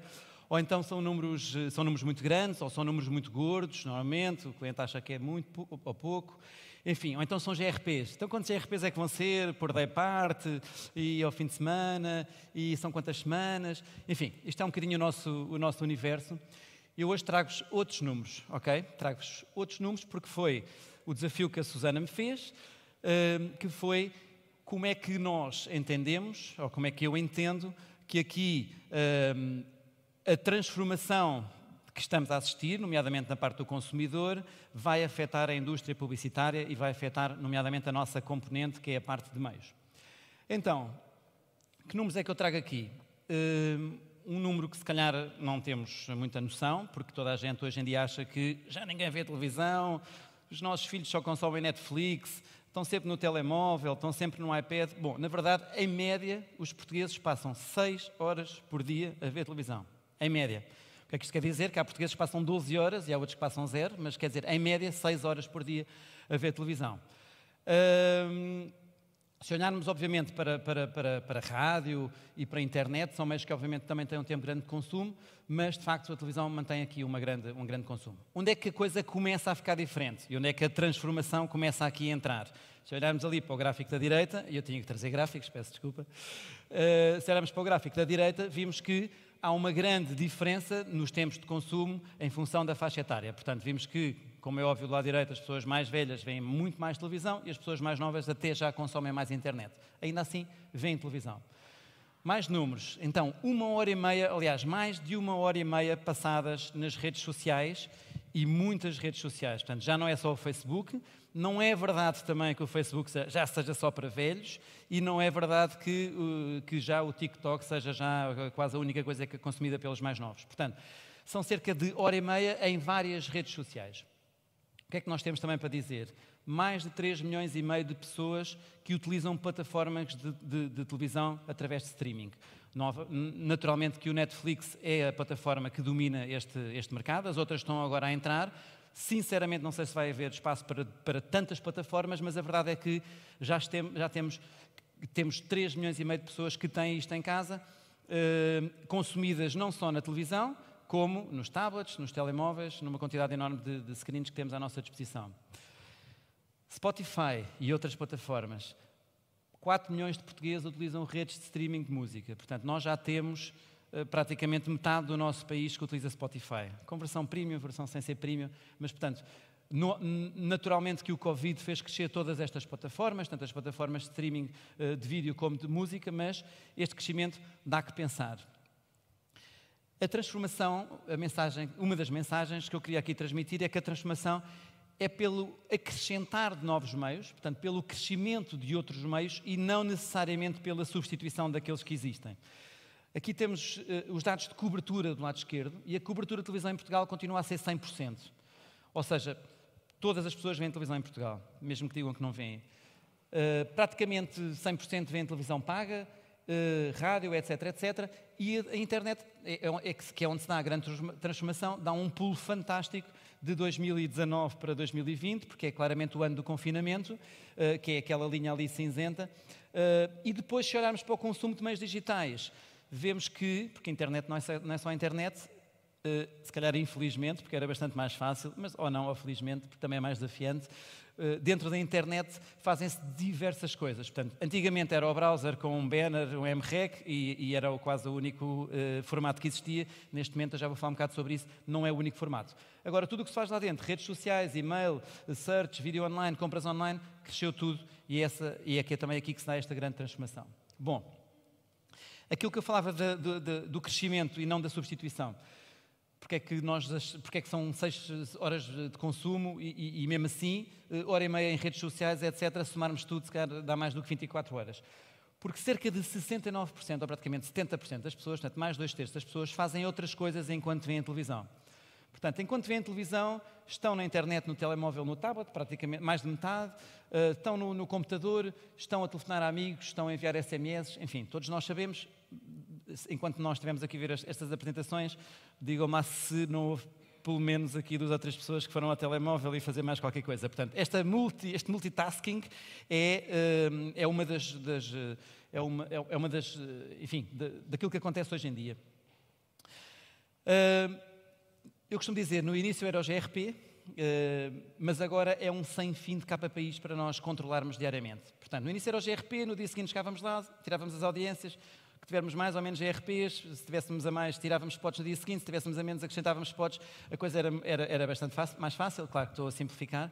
Hoje em dia nós temos que olhar para uh, page views, para taxas de interação, taxas de engagement, CTRs, uh, em cada uma das milhares de plataformas. Portanto, no início era o GRP, mas agora, e todas as campanhas eram pensadas para televisão, para imprensa e depois declinações para outdoor, agora nós temos cerca de 8 mil plataformas para controlar à nossa disposição. Portanto, se eu quiser amanhã fazer um plano de meios, eu tenho cerca de 8 mil plataformas. Portanto, além de televisão e daquelas que falei mais tradicionais, tenho o Facebook, o Twitter, o TikTok, o LinkedIn, uh, enfim, em cada um desses uh, milhares depois de formas de compra, através de compra direta, através de compra programática, etc. Então, com tantos e tantos formatos que mudam a toda a hora e falam entre si, recolhem dados, voltam a falar, adaptado a cada momento, que isto depois é outra coisa que acontece. Uh, vamos ter ainda aqui um acrescento disto tudo a partir do ano que vem, que é o 5G, ou se calhar ainda do final deste ano que é o 5G e que vai pôr basicamente máquinas a falar com máquinas ainda de uma forma mais intensa. Portanto, todos nós sabemos o que é, que é o Internet of Things, que é máquinas a falarem com máquinas, uh, e isto tudo vai se intensificar muito mais. Uh, portanto, não somos nós só a falar com as máquinas, não estou a falar de termos uma Alexa em casa ou termos outro tipo de tecnologia que já achamos que é super moderno, estamos a falar de coisas muito mais avançadas e, portanto, ter o nosso carro a falar com a oficina, podermos uh, e, e ser a oficina a ligar-nos a dizer que o carro tem um problema. Portanto, faça isto tudo que eu falei, foram números, mas acho que foram números relevantes para toda a indústria publicitária, não só para a parte de mídia. Põe-nos a pensar e por isso a nossa, para nós a transformação e no fundo a resposta ao desafio é, é isto, ou seja, criatividade mais mídia, um amor para, nova, para esta nova vida. Já percebemos que não há mídia sem criatividade, Uh, mas a mídia tem que ser pensada de acordo com a criatividade, mas a criatividade tem que ser pensada de acordo com a mídia, de acordo com estes formatos todos, e portanto tem que começar a ser trabalhada desde o início, desde a chegada do briefing, eh, muitas interações, muitos vasos comunicantes entre equipas. Não é, não é vender aqui o nosso, o nosso modelo que, que sim, que é together e que estamos todos num village, onde temos todas as agências, não é exatamente isso é um modelo que nós uh, defendemos com todas as agências, uh, sejam elas dentro do grupo, sejam elas fora do, fora do grupo, mas isto é inevitável e incontornável, porque existe um sem número de facto de formatos, como eu falei, no jantar que tivemos na, nesta semana, uh, o PP falava sobre, sobre, as histórias, sobre as stories das redes sociais, que é tão efêmero que às vezes fazemos trabalhos que, são, que até podem ser espetaculares, mas que ao fim de duas semanas já ninguém se lembra porque aquilo viveu ali durante 24 horas e entretanto já passou porque já estamos aí com o briefing seguinte, etc. Portanto, é um bocadinho isto que eu vos trazia. Obrigado, espero ter correspondido.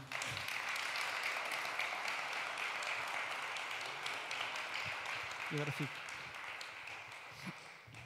Obrigada, Rodrigo. Eu agora vou pedir uh, ao PP, uh, eh, à Cláudia, ao Nuno, uh, o Augusto e a Lu, não sei se ainda estão ligados, espero que sim. para já, um enorme obrigada uh, por terem presidido as vossas categorias. Uh, podem sentar. Um, obrigada por terem aceitado este formato, que foi um formato um bocadinho sem rede, não é? Nunca tínhamos feito. Um, e nós agora estamos aqui disponíveis para quem quiser fazer perguntas a algum dos presidentes, inclusive aos que estão em Zoom, sobre os assuntos que foram falados, sobre qualquer outro assunto que queiram fazer. Se quiserem pedir um estágio ao Nuno, alguma coisa, é só aproximarem-se ali do microfone, falarem e, estamos aqui para responder. É A multidão das centenas de pessoas vai ser difícil gerir. Não, quando, quando, eu acabei, eles saíram, não sei se reparaste. uh, nenhuma pergunta, ninguém.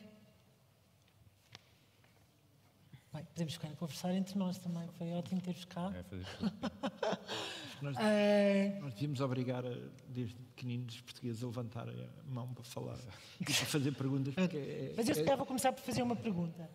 Uh, não quero alongar muito e espero que apareçam mais. Pepe, eu quando, quando vi as tuas referências e vi sobretudo artistas uhum. e cientistas e... Mais artistas até.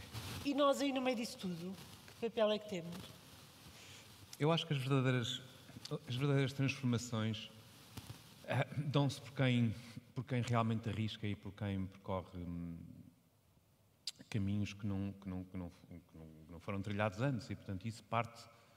Isso normalmente pá, não está na função pública, não está nos bancos, não está, né, está, não está naquilo que é estruturado, está naquilo que é desestruturado. E, portanto, nessa perspectiva, para mim, as minhas fontes de inspiração estão mais próximas desses desestruturadores do que dos estruturadores.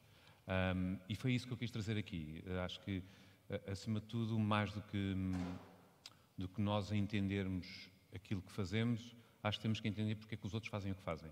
E, e foi, esse, foi, foi mais esse o princípio. E, portanto, aquilo são tudo pessoas que, de alguma forma, me, me, tiveram um papel na minha vida, como é óbvio, não é? São pessoas que eu fui observando. E, e, e, eh, ao fim destes anos todos eu acabo sempre no mesmo sítio. Acabo sempre no universo da arte para ir buscar eh, aquilo que são, da arte, a literatura, no fundo, das expressões artísticas, nas quais eu incluo a nossa atividade. Um, a nossa atividade tem tudo isso, tem um processo de venda diferente. mas não em todos os outros aspectos, do ponto de vista daquilo que é o virtuosismo técnico, daquilo que é um, o processo de criação, daquilo que é o processo de investigação. A capacidade é... de fazer parte da cultura também? Sim, claro. Da cultura e, portanto, popular, pelo menos. Claro que sim, e portanto, para mim, eu não encontro essa, essa divisão, acho que essa divisão é perniciosa. Uh, e, e, as principais fontes de inspiração para mim estão aí, estão, estão nesses locais. Nós somos uma síntese daquilo que é, se quisermos, a arte mais profunda nessa, nessa perspectiva. Nós somos essa síntese, mas sem ela não conseguimos viver. E, portanto, para mim, a minha inspiração vai sempre, vai sempre buscar, vai sempre beber a esses sítios. E aqueles são alguns, né? eu, eu escolhi 15 porque tinha 15 minutos, e, portanto, são alguns dos, dos, que me afetaram, dos que me afetaram a mim durante a vida. Basicamente é isso, dos que me, dos que me transformaram a mim. Uh, uh, acho que é isso, foi isso que eu tentei trazer. Luciana, vou-te fazer uma pergunta. Uh, consegues ouvir-me? Quem me quiser Sim. interromper e fazer perguntas, força, senão eu vou ficar aqui a noite toda a fazer perguntas. Tenho várias. Vai ser exagero, não? A noite toda, espero que seja um exagero. Até irmos jantar tarde. Uh, Luciana, tu falaste, falaste sobretudo de soft skills e das aprendizagens que fizeste nos países por onde passaste, mas tu eu conheci-te como diretora de arte, depois supervisora, depois diretora criativa. Para quem é diretor criativo, há sempre uma luta enorme entre tu como criativo, não é? as tuas ideias, o teu ego como criativo, ou será que eu, se eu deixar de criar, deixo de ser bom criativo? Mas depois, de facto, tu quando passas a ser diretor criativo, também passas a ser sobretudo um líder de pessoas, não é? Então, eu gostava de saber, no teu percurso e, e naquilo que tu és como profissional, uh, o que é que tu sentes que tem mais importância? São os soft skills, na função que estás a, a, a exercer agora, sobretudo direção criativa? Ou tu continuas a sentir-te uma criativa, alguém que tem ideias? Essa parte ainda é importante? Ou, ou um diretor criativo é, sobretudo, um gestor de pessoas e de talentos? É, eu acho que essa é a grande mudança e ninguém nos ensina a, a, liderar, né? Especialmente se a gente vem dessa área criativa, a gente passa tanto tempo, né, focado em ter ideias, ter ideias, ter as melhores ideias e de repente, por causa disso, a gente é promovido, né, cargo de liderança. E aí a gente não tem mais que ter ideias, né? A gente tem que melhorar as ideias dos outros. A gente tem que guiar, né, o nosso time ali no percurso para atingir um melhor resultado. E aqui, para mim, é onde acontece a, grande separação entre um líder bom e um líder que, que de repente, não, não se, um criativo que não se interessa uh, por por, por, por, por esse novo conjunto de tarefas né, que, que esse, esse criativo líder tem que ter. Então, assim, é, é aqui que entra os soft skills, com certeza, liderança é sobre isso. Liderar pessoas é gerir ah, ah, todo esse conjunto de emoções que às vezes é você pegar um time desmotivado e aprender como motivar esse time, é, é, entender como fazer um time colaborar melhor, é entender como fazer o melhor uso né, das habilidades daquelas pessoas, combinando pessoas diferentes, é tentar ter essa escutativa, essa sensibilidade. É muito mais sobre isso do que ter, né, enfim, a ideia. Mas é claro que um líder, principalmente um líder criativo, ele tem, tem esse papel de identificar ali uma semente de uma grande ideia e como fazer isso crescer. Uh, mas sempre usando né, a, a, os criativos e, e, aquilo que eles trouxeram para a mesa. Assim. Eu lembro quando, quando eu ainda não era, enfim, quando eu estava no time criativo, eu tive chefs que eu sabia que eles estavam ali aprovando uma ideia, mas eles estavam buscando a ideia que eles tinham na cabeça deles, no meio das minhas ideias. Né? Isso é tão comum, isso é tão comum. Quando você fala com criativo, acho que todo mundo já teve um chefe assim. Então, assim, eu acho que muito sobre liderar, para mim, foi esse exercício que eu fiz quando eu, virei diretora criativa na Léo de Lisboa a primeira vez, foi olhar para trás todas as experiências más que eu tive como criativa e pensar, eu não quero repetir isso. Eu não quero ser esse chefe que for para mim. Então, assim, esse é o primeiro, uma fórmula muito fácil, né? Todo mundo teve experiência má. Olha para elas e fala, eu não vou repetir isso, eu vou tentar fazer o contrário. Então, um exercício que eu sempre faço é colocar no papel daquelas pessoas e falar: será que elas gostariam, né, de receber o feedback desse jeito? Eu sou de uma geração que era muito legal ser, ser líder assim. Pensa mais, pensa mais. A gente ouvia isso só. E voltava e pensava mais 10 ideias e trazia, e pensa mais. Hoje em dia é impensável dar um feedback assim, não existe, né? Explicar por quê, você tem que mostrar uma direção, fazer com que aquelas pessoas não fiquem desmotivadas com um, um feedback negativo.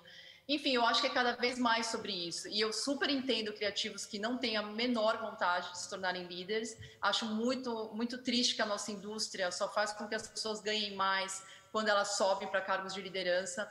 Eu espero muito que um dia a gente tenha uma solução onde que a gente possa realmente promover pessoas que fazem muito bem um certo papel, que não tem nada a ver com liderar um time, porque acho que nem todo mundo tem esse interesse e é normal. É, mas enfim, acho que é muito mais sobre soft skills a partir de um momento, ah, sem dúvida nenhuma. Obrigada. Uh, Olha, ali uma pergunta. Ali uma pergunta? Ali uma pergunta. Eu ia lançada. Mike. Microfone. Ah, tem que segurar. Uh, ora, boa tarde a todos. Uh, antes de mais, parabéns pela iniciativa. O meu nome é Luís Sousa Gaetano.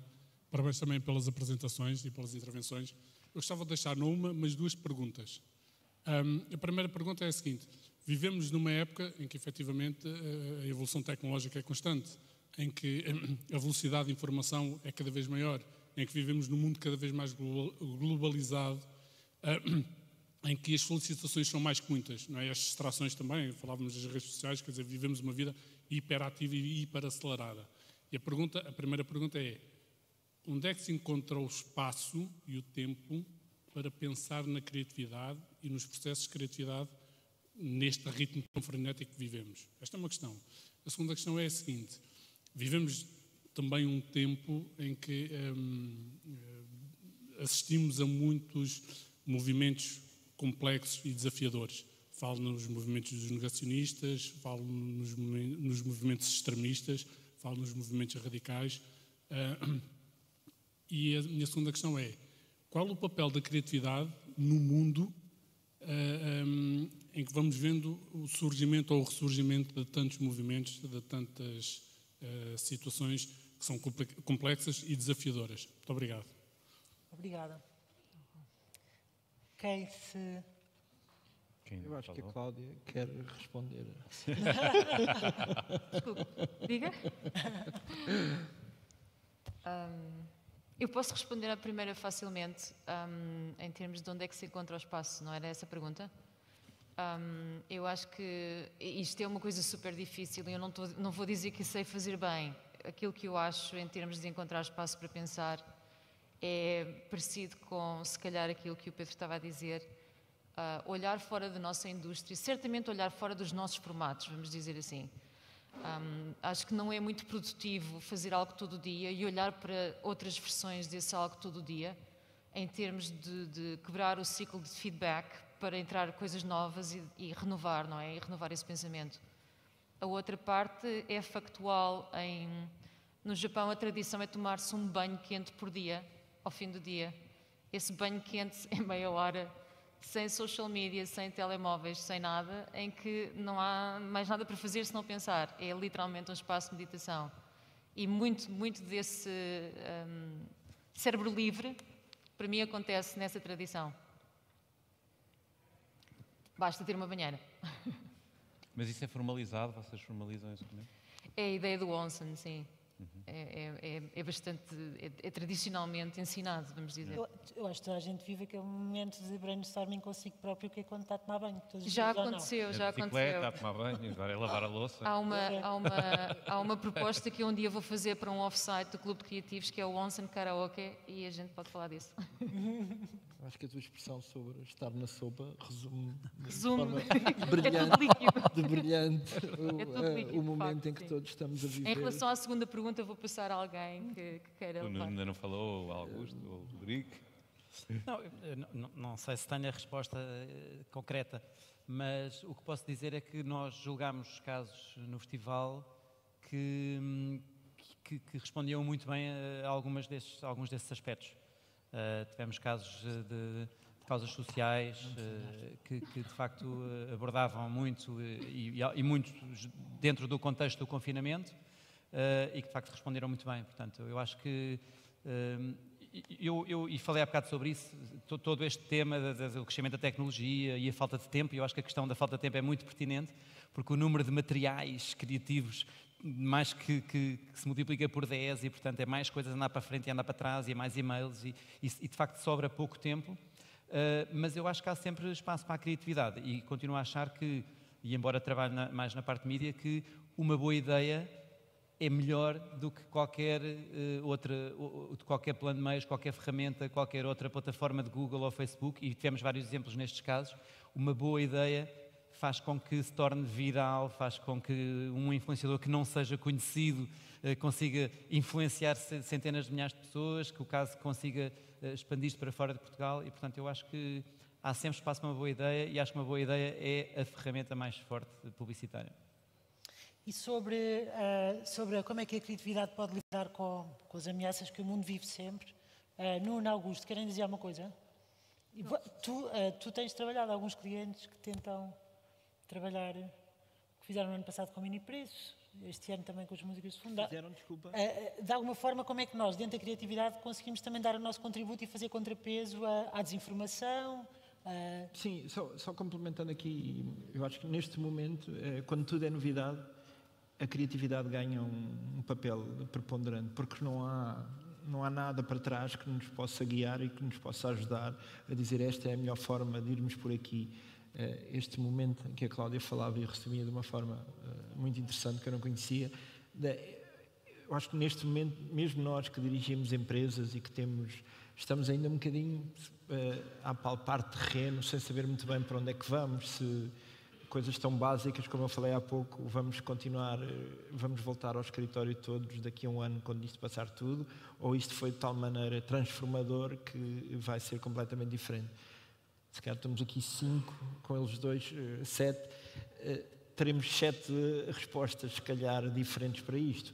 Mas a criatividade, nesse aspecto humano, é a melhor resposta sem haver uma resposta concreta àquela, àquela pergunta, porque eu acho que não há uma resposta intelectualmente honesta para fazer neste momento a essa, a essa pergunta que é pertinente, mas não é, é aberta neste momento e é, acho que nós vamos dar um passo de cada vez, se calhar apoiarmos uh, na parte artística, na parte cultural, na literatura, esta coisa de voltarmos à, à história. Nós não olhamos, se calhar, suficientemente bem para quando vivemos uma pandemia em 1920, mas uh, deverá existir semelhanças uh, enormes.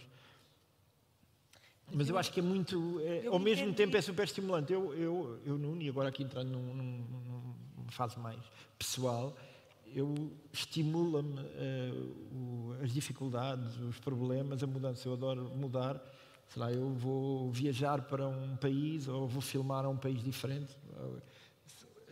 E tenho vontade de abrir uma empresa, de abrir uma agência de publicidade lá naquele país. Eu fico cativado e, portanto, tudo o que seja mudança, mas isto é uma, uma visão muito pessoal. Eu agrada-me, eu gostaria de mudar de três em três meses. A minha família, se calhar, não, não, não teria a mesma, a, mesma, a mesma opinião, mas a mim estimula-me a, a mudança. Por isso eu fiquei, fico fascinado com isto. E, eu nunca trabalhei tanto e com tanta vontade e com tanta alegria, mesmo neste momento difícil, como foi aqui. Eu, eu sinto que fiquei altamente uh, produtivo e criativo com as dificuldades, sim.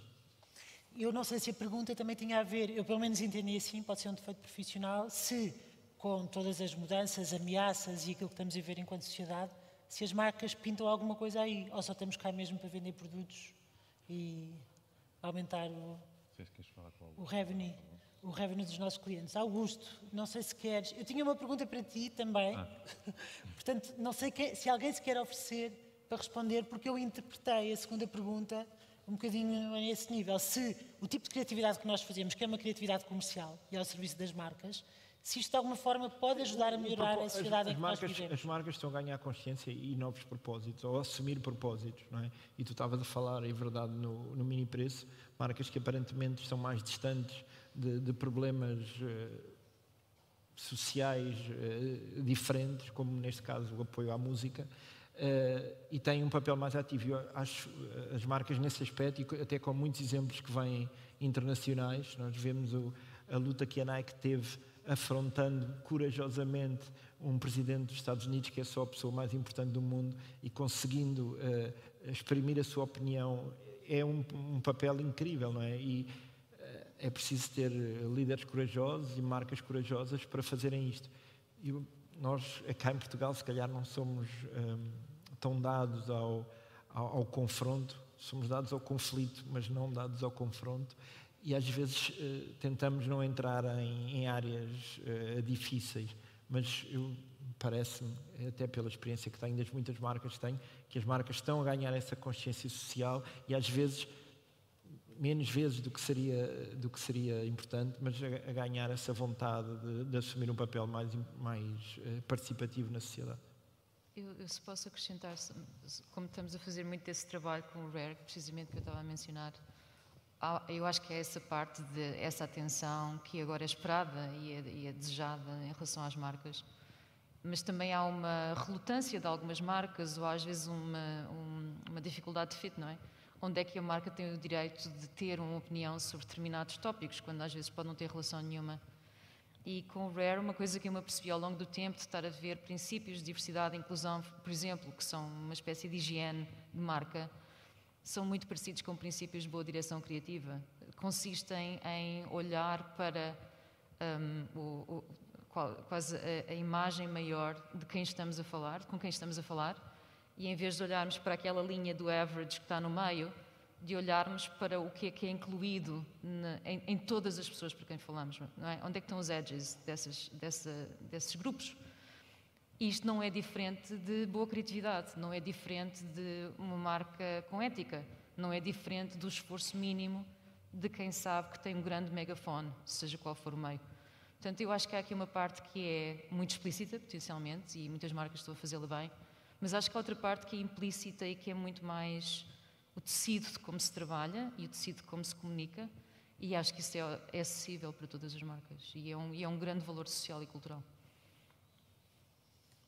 Eu creio eu que as marcas também estão a ir um bocadinho atrás deste fenómeno das redes sociais, em que toda a gente tem opinião sobre tudo. É, e muitas é? vezes amedrontam-se com isso. É, mas ao mesmo tempo também estão a ganhar, por um lado isso, mas ao mesmo tempo também estão a ganhar alguma liberdade ou vontade de participar e opinar até sobre temas, como tu dizes aqui, hum. que são um bocadinho, se calhar, afastados do, seu, do seu âmbito. Mas é, este fenómeno que acontece de que hoje em dia todos temos liberdade para arrotar uma aposta de pescada em qualquer tema, mesmo os temas que não dominamos, tem um lado bom, ou tem um lado mau por um lado, mas também tem um lado bom que nos inclui e que abre a discussão.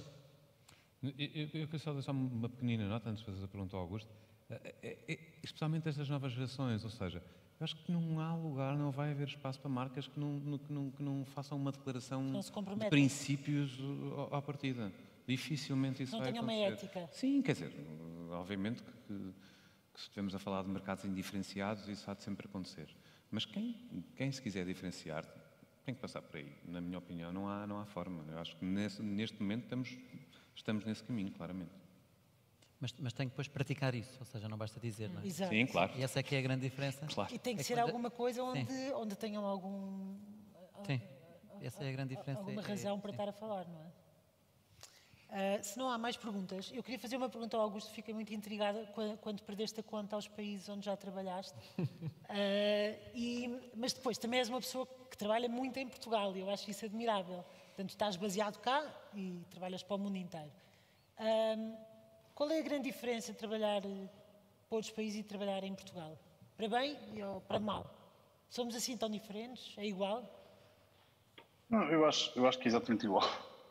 Um, ou seja, vamos encontrar sempre os mesmos desafios, há sempre menos orçamento do que gostávamos de ter, um, a ideia pode ser sempre melhorada, um, o cliente tem dúvidas sobre um determinado approach e, e temos sempre algum medo de, de, de, arriscar. Ou seja, isso é. Eu não, encontrei, talvez, trabalhei para a Nike, trabalhei para a Apple, encontrei um discurso dos criativos um pouco diferente, numa lógica de temos que fazer uma coisa que nunca foi feita e etc. Era quase um mandatório, portanto fugiam dos treatments e, e acreditavam mais nas ideias, na descrição das ideias, do que, do que referências, porque essas necessariamente eram, vinham do outro lado. Não? É? Essa, mas isso não é por país, é porque estamos a falar da minha experiência de três marcas ou quatro, a Adidas, a PlayStation, a a Apple, e, e, são uma exceção, não é? Essas, essas marcas. Eu só queria acrescentar uma, porque é uma coisa que eu demorei muito a aprender. Uh, essa organização que, que, alguém antes perguntou, do público perguntou como é que se gera perante a quantidade de informação que há. Eu só nos últimos anos é que comecei a perceber como fazer isso. E de facto, hoje em dia, e isso é só uma dica que pode servir, é uma dica muito prática. Ou seja, temos por um lado a ideia de recolher informação, não é? Eu, quando comecei a, a filmar, o meu professor de realização disse que demorava pelo menos 20 anos a formar um realizador. E, ou seja, que eu precisava de 20, eu demorei 21 para aí, mas pelo menos mínimo era 20. Um, ou seja, tinha que estar 20 anos a ver filmes, a receber, a chupar, a, a comer, a, a, ver livros de fotógrafos, etc. E de facto isso foi o que aconteceu a mim. Eu só me senti tipo, ok, estou no set e de facto acho que sou realizador e não estou a. Estavas aquela cena do fake it till you make it. Uh, só 20 anos depois de ter começado. Portanto, essa necessidade de chupar informação é uma coisa que continua a existir. Mas de facto é tanto e é tanta confusão é, que eu hoje em dia organizo o meu dia em slots de trabalho, ou seja, eu faço, não interessa, depende do, do, do momento, mas organizo três horas em que não vejo e-mails, não, acesso, não, não acedo a, a, nenhum site, não vou às redes sociais, não faço nada que não seja trabalhar num projeto em que estou a trabalhar. E de facto sou super rigoroso com isso. E depois, a partir de certa hora, ou seja, não faço calls, não ponto nada. E a partir de certa hora é o contrário, não é? Ou seja, dou-me o, luxo de ter duas horas por dia que são para para entrar no buraco do coelho, não sei se dizem em português isso, mas acho que sim. Ou seja, pode ser ver um filme, pode ser ver uma série, pode ser ver o piloto de não sei o quê, pode ser ver, um site de whatever, ou pode ser estar no TikTok, ou tá, o que for. São horas de nada, só coisas para receber. E, e depois volto a incorporar aquilo que eu chamo de trabalho pago, que é umas horas em que eu tenho que estar dedicado ao que estou realmente a trabalhar neste momento. Ou seja, estou a fazer um anúncio um, tem que responder a seleção de decors, ou tem que, whatever o que for, o trabalho em concreto. E, e organizo isso no dia, e de facto, desde que comecei a fazer isso, isso é uma coisa que parece um bocado um, meio um, hipster, de facto, no meu caso, a minha vida mudou imenso. Eu consigo fazer muito mais coisas, continuo a ter tempo para investigar, ou para tempo livre, pode ser ver o, uma série Netflix tipo Too Hot to Handle, ou seja, não tem que ser uma coisa sofisticada, pode ser uma coisa pouco sofisticada mas o que for, e, e tenho tempo aos meus projetos de, de futuro, digamos. Portanto, eu, para mim foi importante aprender a organizar o meu dia, que era uma coisa que eu não sabia. Obrigada. Não sei, há ali mais uma pergunta. Carlos.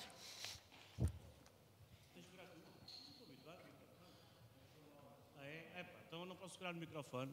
Não. Não. Ora, muito boa noite. Meu nome é Carlos Gurjão. Para muitos daqui sou um amigo sempre à mão. Eh, sócio muito orgulhoso do CCP número 129. Aviso já que vou dizer disparates, vou dizer um, um disparate e um palavrão. Uh, portanto, é um disclaimer. Uh, talvez, talvez a pergunta seja dirigida à Luciana, pelo, pelo, tema, que me é muito querido. Dizem que eu sou especialista em, em soft skills, mas eu queria fazer uma proposta de rebranding. E tem a ver com, na minha hora e meia diária, que muitas vezes são três de, de social media, deparei-me com um vídeo de um brasileiro, só para justificar o que vou dizer a seguir dizia soft skills o caralho. Explicava e depois dizia: não, isto são human skills. Portanto, se são tão importantes assim, porque é que se chama soft? É, um, é uma espécie de provocação.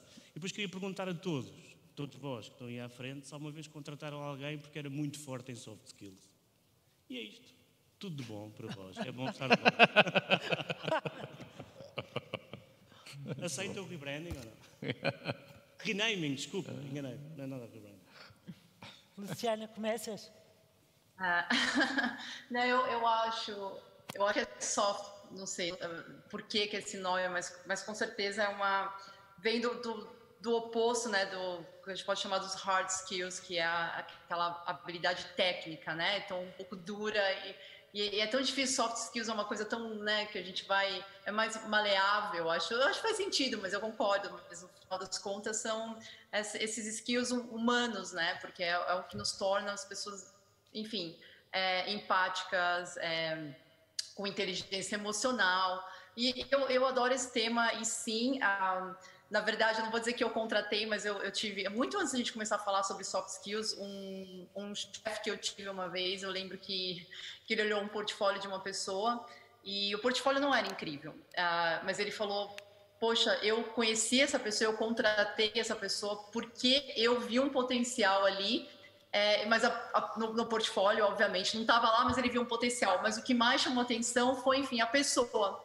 E aí eu achei tão interessante, a gente teve essa discussão e ele disse, muitas vezes você, você contrata alguém uh, pela personalidade, porque aquilo é uma coisa que, enfim, não vai mudar muito, uh, e, e, você vê o potencial no portfólio que pode crescer. Uh, enquanto que realmente você contratar uma pessoa que culturalmente na empresa não vai ser muito bom, às vezes pelo perfil daquela pessoa, e só porque o portfólio é incrível, sabe? E, e isso foi uma coisa que eu comecei a prestar atenção depois como líder. Isso aconteceu anos, anos. Eu ainda era diretora de arte e eu me lembro de, de, de ver essa pessoa na equipe que realmente não tinha talvez o portfólio mais incrível, mas que cresceu lindamente porque se integrou muito bem culturalmente na agência. Isso é uma coisa que eu levo para mim. Entre, entre, por exemplo, pegar um portfólio de uma pessoa que, que é super competitiva e que, que de repente não é exatamente a cultura que eu quero promover dentro da minha agência, e olhar uma pessoa que tem, enfim, essa inteligência emocional, esse lado colaborativo que eu prezo muito. E de repente um portfólio menos bom entre essas duas pessoas, eu vou, eu vou com a pessoa que tem os soft skills que eu acho que ajuda para o time como um todo. É, eu acho, assim, para contratar, eu aplico isso muito. Alguém quer responder aqui se já contrataram a Luciana, alguém? A Luciana já, já, já disse tudo. Eu, eu só vejo o portfólio depois de passar esta barreira do, se quiser chamar soft skills, o que for. Há ali um momento de, de empatia, de, de, energia, que para mim é fundamental. E eu não vejo o portfólio antes, até porque os portfólios hoje todos nós sabemos que são participados por 15 pessoas diferentes e tu nunca, na verdade nunca sabes bem qual foi o papel de cada um numa ideia que está ali. E, portanto, eu prefiro uma conversa uh, interessante, inteligente, reveladora de, de, de algumas qualidades que, que, se conseguem perceber numa conversa simples e depois, se realmente uh, for interessante, então eu vou olhar para o portfólio. Não sei se isto ajuda a responder, mas Mais alguém quer responder? Eu, eu vario um bocadinho, confesso. Ah, eu tenho alguma dificuldade em, em conseguir perceber o que são as pessoas em entrevistas. Um, e, tenho alguma, e, acho, e acho que demora muito tempo a nós conseguirmos perceber se, se, os soft skills daquela pessoa são realmente válidos ou não depois na relação. Um, tenho alguma dificuldade em perceber sempre isso naquele momento. Obviamente que há empatias imediatas, mas isso já me enganou muitas vezes. Portanto, uh, nós quando estamos à procura de Uh, eventualmente, se é defeito profissional meu, hum, porque tenho sempre algum problema para resolver e depressa, uh, e tem-se tornado uma característica da minha vida dos últimos anos, infelizmente, um, e, e, isso obriga-me a ser muito objetivo naquilo que quero e naquilo que estou à procura, uh, e isso eventualmente poderá não dar tanta importância a esse fator como outro qualquer, e eu resolvo esse fator depois mais à frente, de outra maneira qualquer, com soft skills, eventualmente, os meus e dos outros. Mas nesse momento eu tenho alguma dificuldade em confiar apenas isso, porque já fui, uh, acho que já fui enganado algumas vezes nessa perspectiva. Portanto, não é por eu conseguir estabelecer empatia pessoal com uma pessoa ou ser muito agradável a entrevista que eu depois vou conseguir trabalhar com ela ou ela me vai entregar alguma coisa. Eu hum, vario, digamos que vario nesse aspecto. Cláudia Rodrigues. Hum, semelhante à Luciana, também tento. Aquilo que eu não vou conseguir mudar é a personalidade, a adaptabilidade, as expectativas, não é? Tudo isso tem de estar perto. E, hum, e, e, e, tento a minha disciplina é procurar pessoas que normalmente não contrataria. O perfil mais longínquo dentro daquilo que preciso contratar. Porque normalmente é isso que traz alguma confusão. e às vezes mais tempo de trabalho, mas mais interesse no trabalho e respostas únicas. Um, portanto, tentar ter um equilíbrio entre, entre essa ideia e, e também, como uh, se, se calhar semelhante ao que estavas a dizer, a maior parte das pessoas a um determinado nível mais ou menos faz o trabalho bem a esse nível, não é? A resposta não há de ser. Uh, raramente tens trabalho tão incrível que justifique, um, se calhar, esse bypass, na minha opinião. Portanto, tendo a contratar assim. Mas outra coisa, tendo a contratar, mais uma vez, à procura de trabalho e de referências e de interesses que não estão no trabalho do portfólio. E isso tem-me ajudado bastante, porque isso explica muito do que é o universo de um criativo e, e de que, qual é o interesse que isso pode ter e, e, que, e que, quão surpreendente ou quão interessante é que pode ser ter isso na mistura que, que se está a criar. Se não há mais perguntas, se calhar Vamos encerrar a noite e vamos. É hora de jantar, são oito e meia. Bem, agradecemos a todos os que, as centenas de pessoas que ficaram aqui connosco na sala. Uh, e muito obrigada àqueles que estão connosco em direto uh, e àqueles que vão poder ver depois, porque eu acho que provavelmente vai ficar gravado. Uh, não tenho a certeza, espero que sim, depois de ter dito isto. muito obrigada, sobretudo, a vocês, presidentes de júri, que arriscaram neste formato, também se transformaram aqui em oradores, físicos, à distância, tudo 30 por uma linha. Foi um prazer ter-vos cá nestes dias de votações. Foi um prazer enorme ouvir-vos hoje e estar aqui nesta conversa. E, e, pronto, e o festival continua para a semana com, os nossos, com as nossas tertúlias e com a gala no dia 1. Obrigada a todos e, e